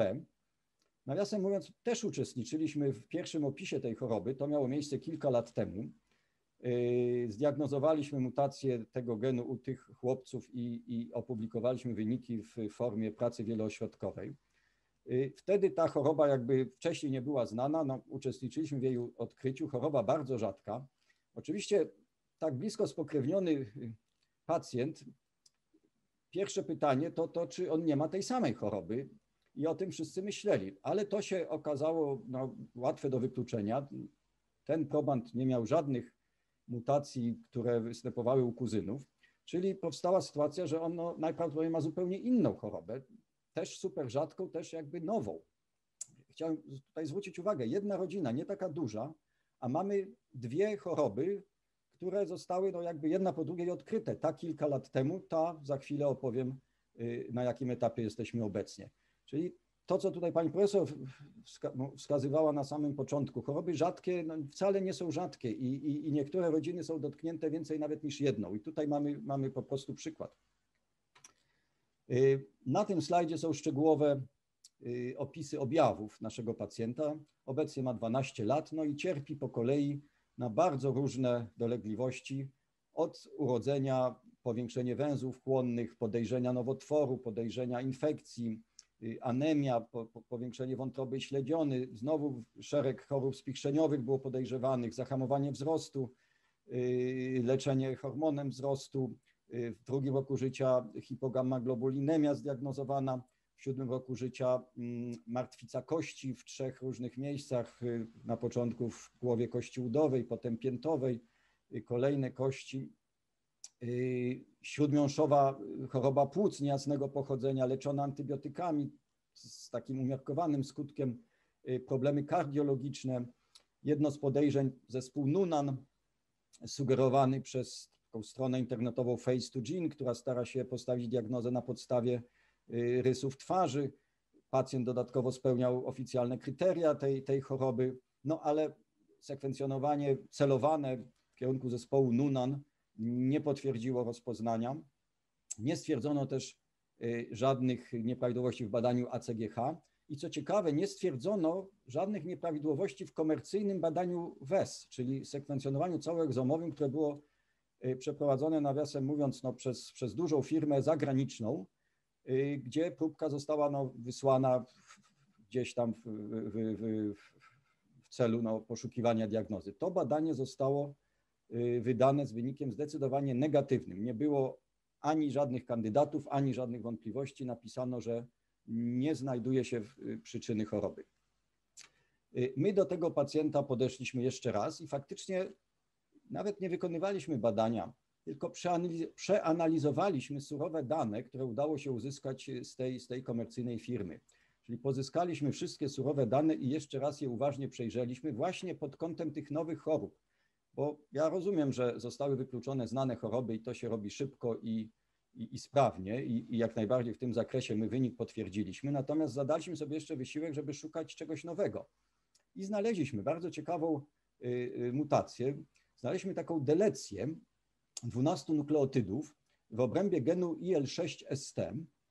Ta delecja u pacjenta wygląda, że, że jest mozaikowa, to znaczy nie jest obecna we wszystkich komórkach. Przeprowadziliśmy dokładniejsze badanie innych tkanek i, i stwierdziliśmy, że we krwi ta mutacja jest obecna w 15% komórek, w osadzie moczu w 30%, w cebulkach włosów w 36%, w wymazie z jamy ustnej w 42%. U rodziców rodzeństwa y, brak było tej mutacji, co, co no, czego się spodziewaliśmy, bo wszystko wskazuje, że jest to mutacja de novo i to w dodatku mutacja postzygotyczna, czyli, czyli somatyczna mutacja, która zaszła gdzieś tam w rozwoju zarodkowym i, i nie występuje we wszystkich komórkach. Ta mutacja zwróciła moją uwagę, dlatego że nie została wprawdzie powiązana z żadną chorobą człowieka dotychczas, natomiast została znaleziona jako częsta przyczyna pewnych y, guzów wątroby, y, specyficznie takich guzów na tle zapalnym.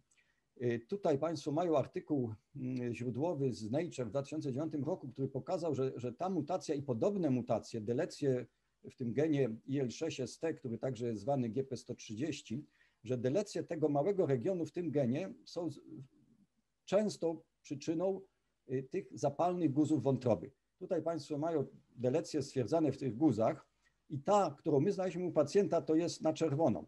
I to czerwone to, to, to nie jest moje podkreślenie, to autorzy artykułu podkreślili na czerwono, żeby y, no, wskazać tą najczęstszą, jakby tą kanoniczną, można powiedzieć, delecję, y, która, która w tych guzach jest y, przyczyną problemów. Ta mutacja została bardzo szczegółowo przebadana przez autorów tej pracy i zostało wykazane, że ona aktywuje białko GP130, a, a białko GP130 jest białkiem, które pośredniczy w sygnałowaniu mm, interleukiny 6. To jest taki związek, który, takie białko, które ma bardzo silny efekt y, prozapalny. Y, przy większości reakcji immunologicznych interleukina 6 ulega, mm, ulega no, ekspresji, jej poziom się podnosi i ona indukuje gorączkę, zapalenie, no bardzo taka uniwersalna, prozapalna substancja w naszym organizmie. I to białko GP130, ono pośredniczy w przekazywaniu sygnału właśnie przez interleukinę szóstą. I ta mutacja konkretnie powoduje taką sytuację, że sygnał jest przekazywany mimo tego, że tej cytokiny nie ma. Czyli pacjent ma jakby włączone y, mechanizmy zapalenia, pomimo że żadnych nie ma przesłanek, żeby to zapalenie y, y, miało w ustroju mieć miejsce. Czyli bardzo dokładna y, możliwość interpretacji mechanizmu tego, co się u pacjenta dzieje i muszę powiedzieć bardzo zgodna z tym, co obserwowaliśmy klinicznie. Te węzły chłonne, te wszystkie objawy zapalenia w płucach, zapalenia w kościach, y, deficyt immunologiczny, prawdopodobnie z wyczerpania, tą ciągłą stymulacją. Więc to naprawdę było bardzo przekonujące, że znaleźliśmy przyczynę choroby pacjenta. Żeby badać troszeczkę jeszcze dalej y, naszego pacjenta, wyprowadziliśmy y, linię limfocytów B od niego. Y, pokazaliśmy, że ta linia wykazuje bardzo wysoką ekspresję tej delecji, to znaczy praktycznie 100%, czy tam blisko 100% komórek, które uzyskaliśmy, miały delecję. I następnie przeprowadziliśmy wspólnie z zespołem pani profesor Dominiki Nowis, przeprowadziliśmy badania funkcjonalne Mm, żeby potwierdzić, że rzeczywiście ten szlak jest y, aktywowany tak, jak to należało się spodziewać.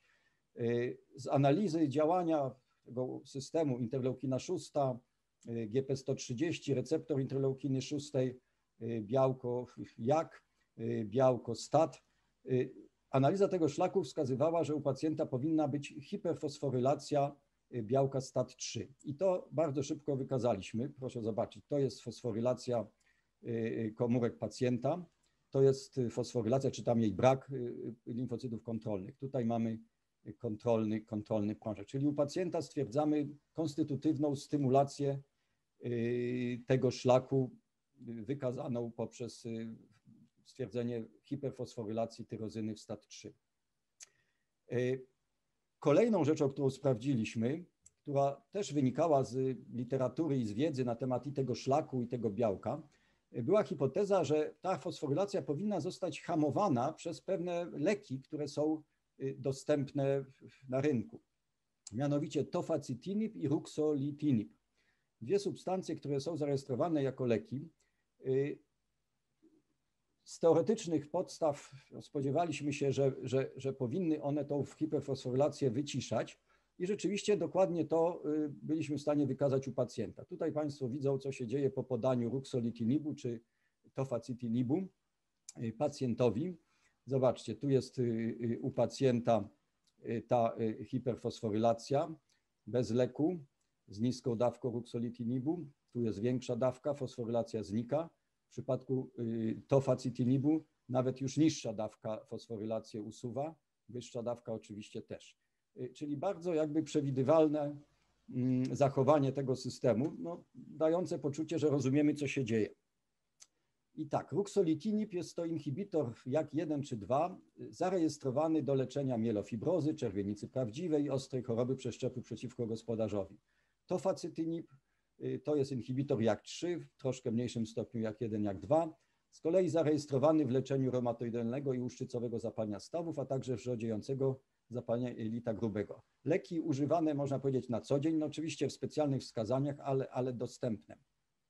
Oprócz tego zarejestrowanego użycia ruxolitiny był też y, skutecznie stosowany w leczeniu zapalenia jelit oraz innych schorzeń spowodowanych rozregulowaniem odporności u pacjentów z aktywującymi mutacjami STAT3.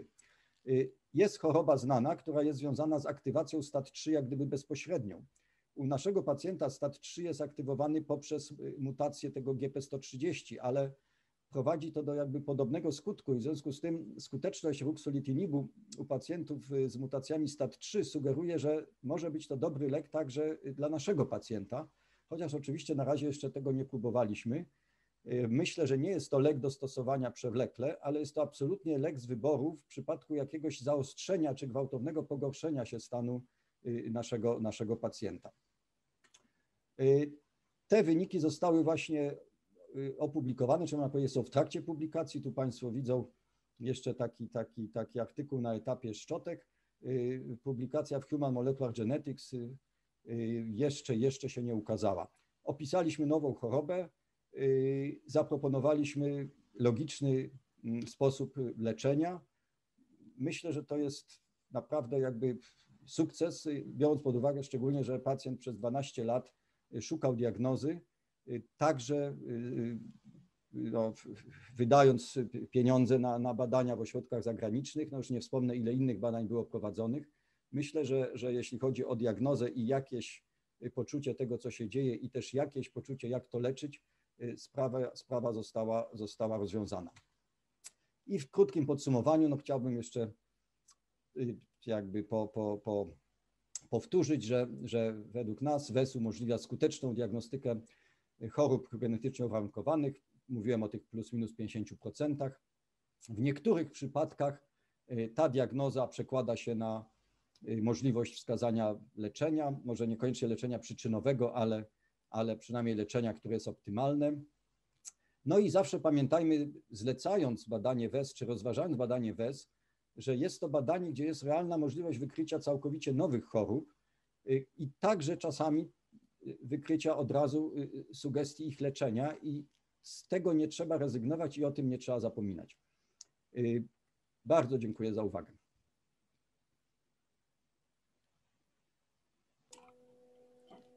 Bardzo dziękuję panu profesorowi za bardzo interesujący wykład. Mam nadzieję, że przekonał pan wielu słuchaczy, że warto sekwencjonować genomy chorych na choroby rzadkie. Teraz przejdziemy do y, spraw y, chorób rzadkich, jak one wyglądają od strony pacjentów i jak pacjenci mogą się przyczynić do powstawania nowych metod leczenia, nowych leków. Y, Przedstawiam Państwu pana Kacpra Rucińskiego, który jest współzałożycielem i wieloletnim prezesem Fundacji SMA, a obecnie członkiem Rady Strategicznej Fundacji SMA oraz członkiem zarządu SMA Europe. Przybliży nam działalność Stowarzyszeń Pacjentów SMA, y, działalność, która doprowadziła do przełomu naukowego i powstawania szeregu leków na tę ciężką chorobę. Bardzo proszę Panie Kacprze o zabranie głosu. E, Dzień dobry, witam, witam wszystkich, witam pan, panią profesor, witam państwa, witam wszystkich słuchaczy. E, Czuję się zaszczycony mogąc e, przedstawić punkt widzenia pacjentów, mogąc przedstawić naszą działalność, działalność globalnej społeczności osób chorych na rdzeniowy zanik mięśni w tak ważnym dniu. Mm, Jesteśmy teraz w okolicach Dnia Chorób Rzadkich i, i to jest dzień poświęcony szczególnie właśnie osobom chorującym na choroby rzadkie, mówię w tej chwili banał, oczywistą rzecz, no nie? E, Natomiast e, w mojej prezentacji chciałbym pokazać, w jaki sposób e, osoby chorujące na choroby rzadkie, rodziny tych osób i stowarzyszenia, mm, organizacje tworzone przez takie osoby, w jaki sposób przyczyniły się i w jaki sposób działają w tym kierunku, żeby te choroby były leczone. Że teraz pokażę prezentację. Mam nadzieję, że, że uda mi się uruchomić, e, uruchomić prezentację. E, I mm, proszę mi powiedzieć, czy, czy widać to co, to, co pokazuję. Tak widać. Dobrze, tak. Parę słów, mm, parę słów o mnie. E, Jestem ojcem dwóch córek, z których młodsza Lia ma rdzeniowy zanik mięśni, teraz panna ma 12 lat. E, Zdiagnozowana została mając wieku półtora roku. E, No, objawy jej się zaczęły w okolicy roku. E, Tak. Co to jest rdzeniowy zanik mięśni? Wiem, że nie wszyscy nasi słuchacze wiedzą, co to za choroba, więc bardzo szybciutko przypomnę. Rdzeniowy zanik mięśni jest to choroba, która jest no, chorobą jednego genu. E, Jej przyczyną na poziomie genetycznym jest e, mutacja w genie SMN1, który koduje białko niezbędne do przeżycia neuronów ruchowych, neuronów motorycznych. Białko ma dźwięczną nazwę SMN, co się odczytuje Survival of Motor Neuron, czyli generalnie białko służące dokładnie do przeżycia neuronów ruchowych. E, Motoneurony, jak w wielu chorobach e, o podłożu nerwowo-mięśniowym, w momencie, kiedy nie przewodzą sygnału, e, powodują słabnięcie i atrofię mięśni szkieletowych. W SMA w szczególności dotknięte są mięśnie, mięśnie nóg, mięśnie rąk, mięśnie szyi, jak również mięśnie odpowiedzialne za oddychanie i przełykanie. Dlatego y, dzieci z najcięższą postacią choroby, jak widzimy na załączonym obrazku, wymagają e, mechanicznej wentylacji, wymagają karmienia dojelitowego. E, W, przy łagodniejszych postaciach choroby mamy osłabienie, ale osoby są w stanie utrzymywać głowę przykładowo, natomiast zawsze choroba wiąże się z ciężką, postępującą niepełnosprawnością. E, Choroba jest to chorobą dzieci, natomiast y, też nie można zapominać, że chorują na nią również osoby dorosłe. Dzieci stają się dorosłymi, a w bardzo rzadkich przypadkach potrafi pojawić się w wieku dorosłym. Jak to mówią w Stanach Zjednoczonych, największy genetyczny zabójca małych dzieci. I taka sytuacja była, odkąd tę chorobę opisano w XIX wieku, aż do, aż do lat współczesnych, aż do 2016 roku. W Polsce mamy około tysiąca chorych na SMA. E, Jedno na 7 tysięcy dzieci, które się urodzi, będzie miało rdzeniowy zanik mięśni w którymś momencie życia.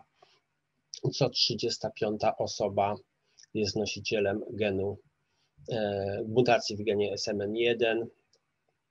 E, W związku z tym mają, biorąc, patrząc, że tutaj u nas na, na dzisiejszym spotkaniu jest, nie wiem, około setki osób, no tutaj osób zmutowanych będzie, będzie całkiem sporo.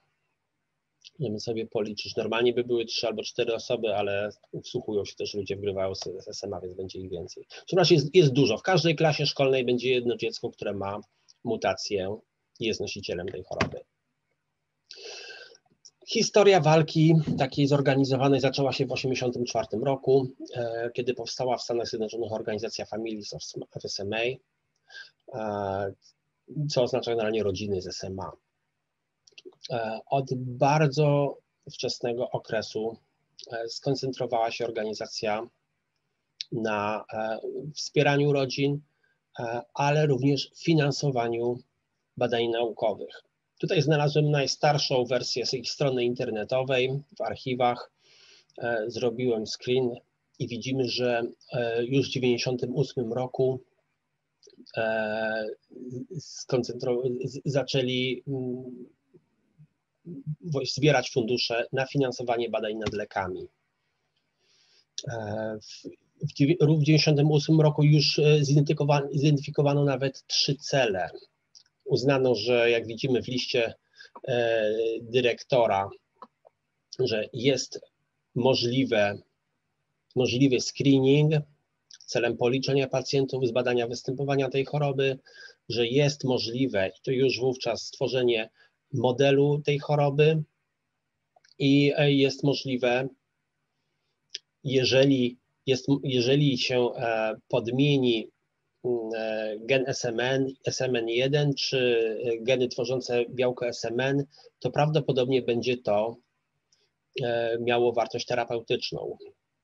Przypomnę, że gen został zidentyfikowany dopiero 3 lata wcześniej, ledwo 3 lata wcześniej, w 1995 roku. E, organizacja zaczęła finansować badania, zmieniła nazwę Families of SMA, potem na Cure SMA, E, do 2020 roku zebrała 82 miliony dolarów, właściwie przeznaczyła 82 miliony dolarów zebranych na finansowanie projektów naukowych. Tych projektów było sporo. Co roku e, Rada Naukowa e, wybierała 5, 6, 8, 10 projektów, które były najbardziej obiecujące i przekazywała finansowanie. Z takich co się okazało później? Dwa z projektów, e, które tu widzimy, przepraszam, że tutaj napis wchodzi jeden na drugi. E, w 2003 roku mm, Ravindra Singh e, wystąpił z propozycją przeprowadzenia badań, odkrycia, sprawdzenia, czy modyfikacja alternatywnego splicingu, splicingu genu SMN2 mogłaby mieć wartość terapeutyczną, otrzymał dwa granty i te granty później posłużyły, właściwie stanowiły taką podstawę do opracowania pierwszego, pierwszego leku na rdzeniowy zanik mięśni. Drugą organizacją, która powstała nieco później, w 2003 roku, rozpoczęła działalność SMA Foundation, założył ją ojciec dziewczynki chorej na rdzeniowy zanik mięśni, E, Hindus e, e, i jest to organizacja bardzo mała, mająca wszystkiego, pracuje tam pięć osób. Natomiast skoncentrowała się wyłącznie na przyspieszaniu badań klinicznych, badań nad rdzeniowym zanikiem mięśni i opracowywania leków. W ciągu swojej działalności 17 lat zebrała i wydała na badania 150 milionów dolarów to jest kwota ogromna, muszę powiedzieć. To jest kwota, e, jaką, e, no nie wiem, e, na sam rdzeniowy zanik mięśni, biorąc pod uwagę, patrząc powiedzmy na budżet w Polsce Agencji Badań Medycznych, no to tutaj mamy chyba jedną trzecią budżetu. Badań było bardzo dużo. O tym, jak później wymienię, jakie leki dzięki nim powstały. W każdym razie powstały i modele myszy, i i wiele, wiele e, ciekawych badań. Co się u nas w Europie, naszym europejskim podwórku w 2007 roku e, sześć państw zdecydowało utworzyć SMA Europe. Sojusz sześciu organizacji narodowych, którego celem byłoby podobnie zbieranie funduszy i finansowanie grantów. To było w 2007 roku, rzeczywiście program grantowy zaczął się wkrótce później, na w kolejnym roku. i co roku udawało się przeznaczyć około pół miliona euro na granty badawcze. Obecnie członkami SMA Europe jest około 20 organizacji. Także jesteśmy teraz swoim zasięgiem pokrywamy całą Europę. I praca e, oprócz tego pierwotnego celu, którym było finansowanie badań, mm, zaczęliśmy e, zaczęliśmy tworzyć własne, właściwie zaczęliśmy tworzyć własne badania. Najpierw badania e, takie trochę epidemiologiczne, trochę badanie punktu widzenia pacjentów, oczekiwań pacjentów, które po prostu ukazywały się drukiem. E, to jest 6 plus, są w tej chwili chyba 7 czy 8 milionów, mm, nieaktualną liczbę euro. E, a nasze badania, które drukiem się ukazywały, mm, tutaj mam kilka, pokazałem. Ostatnie dwa jeszcze nie ma końcowej wersji. Najnowsza Understanding European Patients Expectations o oczekiwaniach pacjentów E, na podstawie dużego paneuropejskiego badania ankietowego. On jest jeszcze w druku. W tym momencie mm, widzimy wersja z 4 lutego. Co jeszcze nam się udało zrobić e, oprócz współpracy z przemysłem farmaceutycznym? E, wymyśliliśmy, że zrobimy kongres poświęcony rdzeniowemu zanikowi mięśni. A co? W Stanach Zjednoczonych mają swoją konferencję, natomiast w naszej Europie nie dzieje się nic, no i nie może tak być, że my wszyscy tylko co roku czy co dwa lata latamy do Stanów Zjednoczonych, żeby się dowiedzieć co nowego w SMA. Więc pierwsza konferencja odbyła się w Krakowie, to jest akurat zdjęcie z drugiej, Natomiast jako Fundacja SMA zgłosiliśmy Kraków jako to miejsce i w 2018 roku konferencja się odbyła i stała się od tamtego czasu wydarzeniem cyklicznym co dwa lata w latach parzystych odbywa się Międzynarodowy Kongres Naukowy poświęcony rdzeniowemu zanikowi mięśni.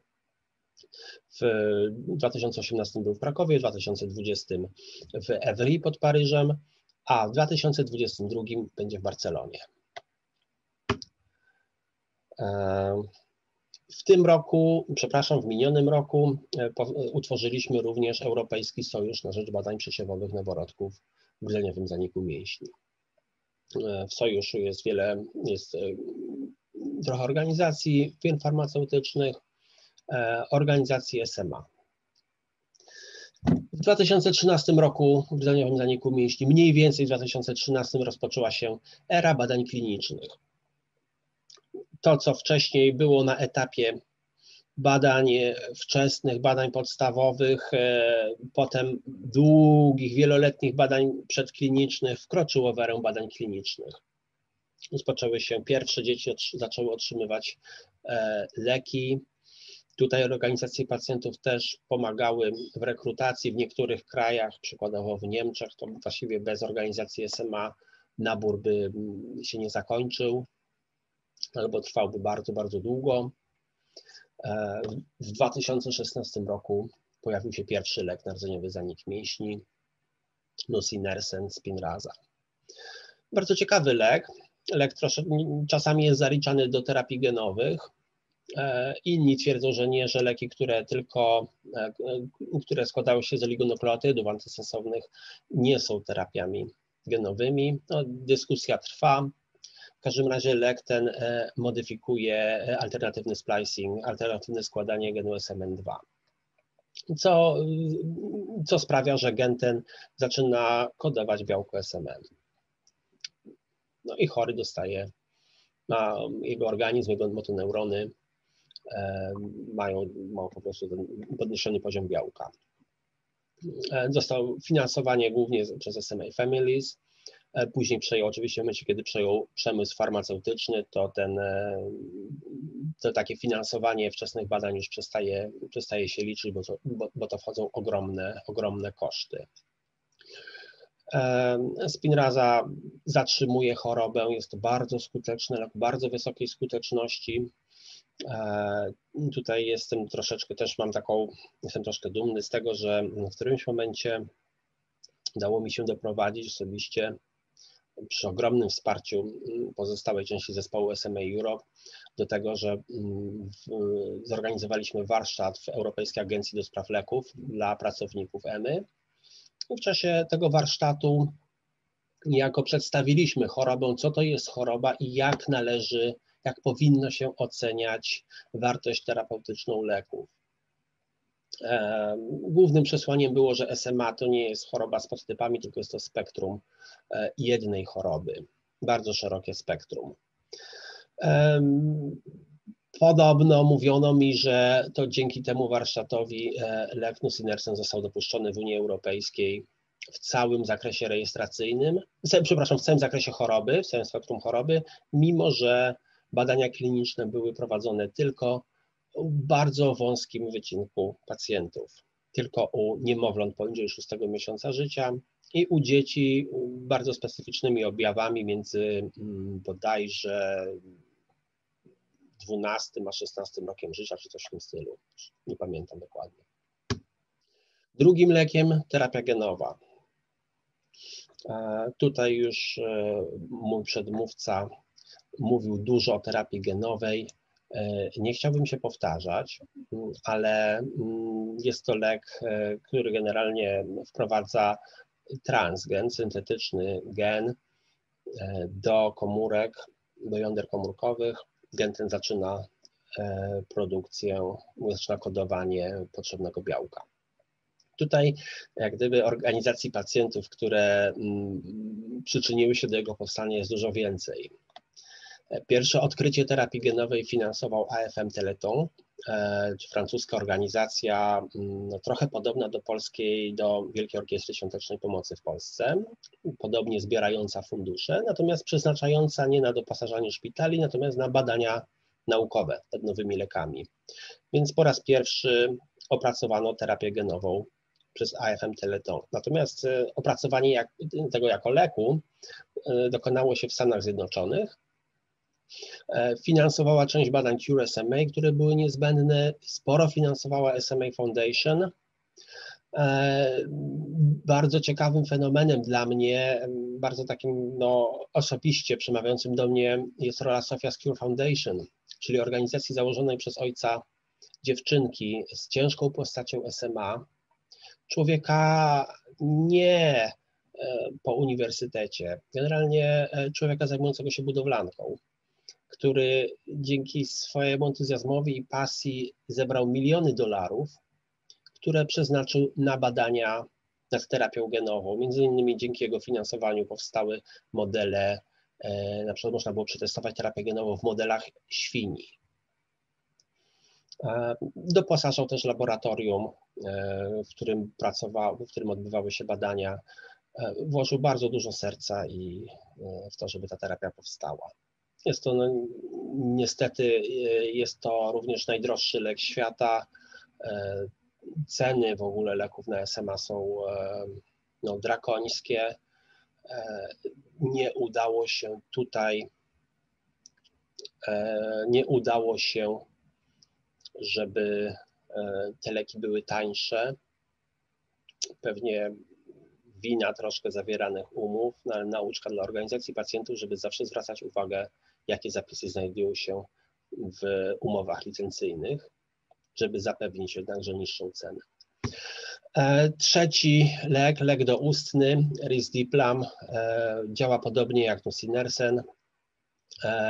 On oficjalnie rozwijany jest przez konsorcjum złożone z trzech podmiotów, SMA Foundation, PTC Therapeutics, e, czyli firmę biotechnologiczną oraz koncern Roche. E, Risdiplam e, został, znaczy nie został dopuszczony jeszcze w Unii Europejskiej. Przed momentem gruchnęła informacja, właściwie została opublikowana informacja, że uzyskał pozytywną opinię CHMP w Europie. E, i będzie, mamy nadzieję, że Komisja Europejska w ciągu dwóch, dwóch miesięcy dopuści go. E, Rizdiplam powstawa, powstawałby zapewne jeszcze dłużej, gdyby nie e, znowuż Fundacja SMA i siostrzana organizacja w Rosji.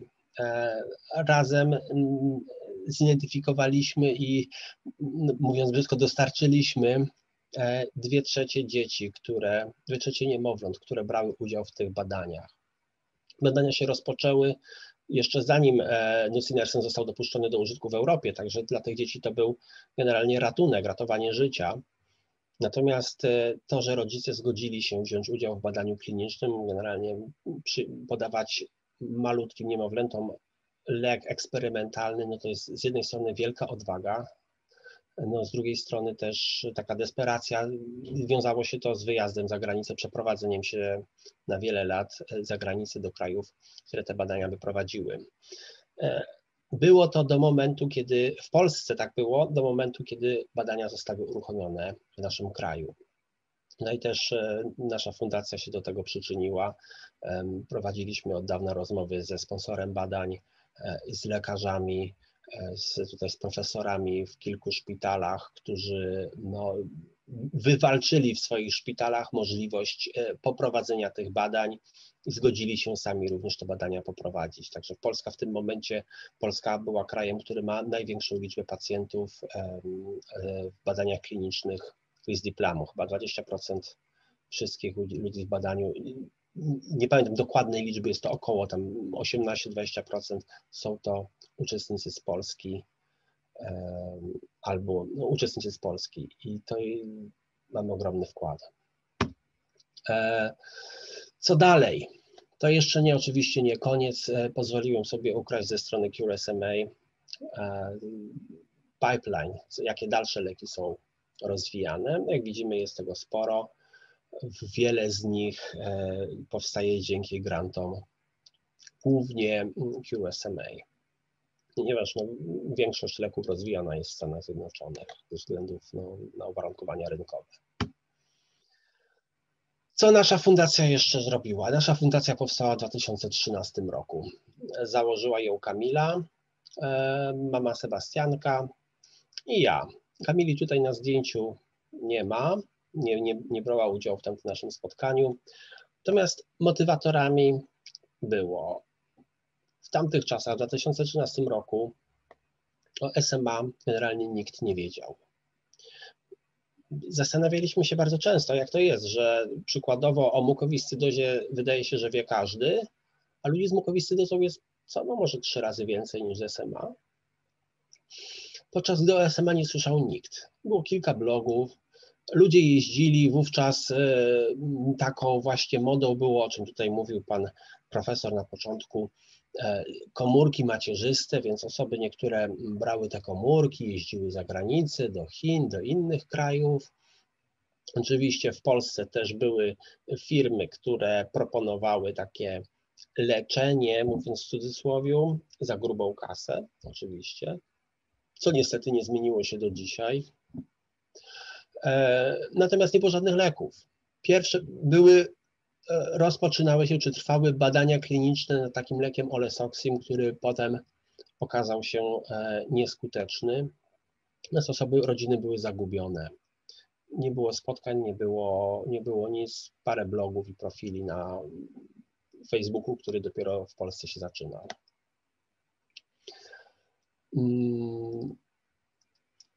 W 2013 roku, jak wspomniałem, też były uruchomione już badania kliniczne nusinersenu, no ale Polski nie było na mapie.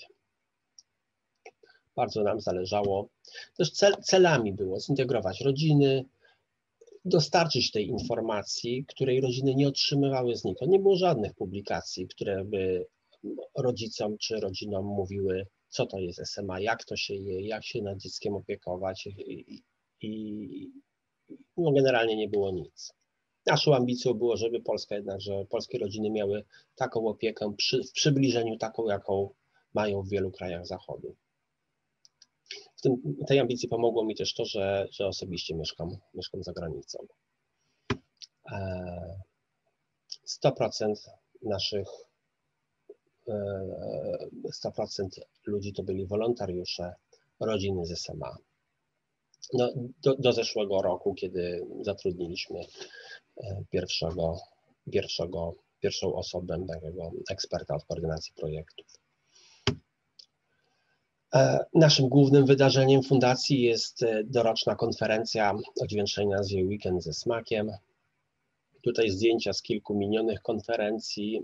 Zwykle łączyliśmy spotkanie dla rodzin, taki warsztat edukacyjny, taki cykl dwu, trzydniowy edukacyjny, integracyjny ze spotkaniami również dla lekarzy i ekspertów.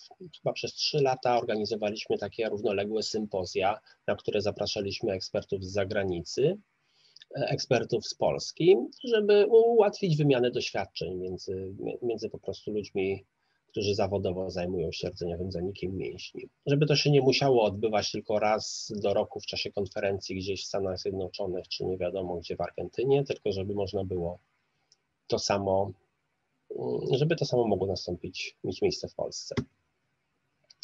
Co przez ten czas nam się udało? Powstały publikacje, tutaj okładki dwóch, ale ich jest więcej.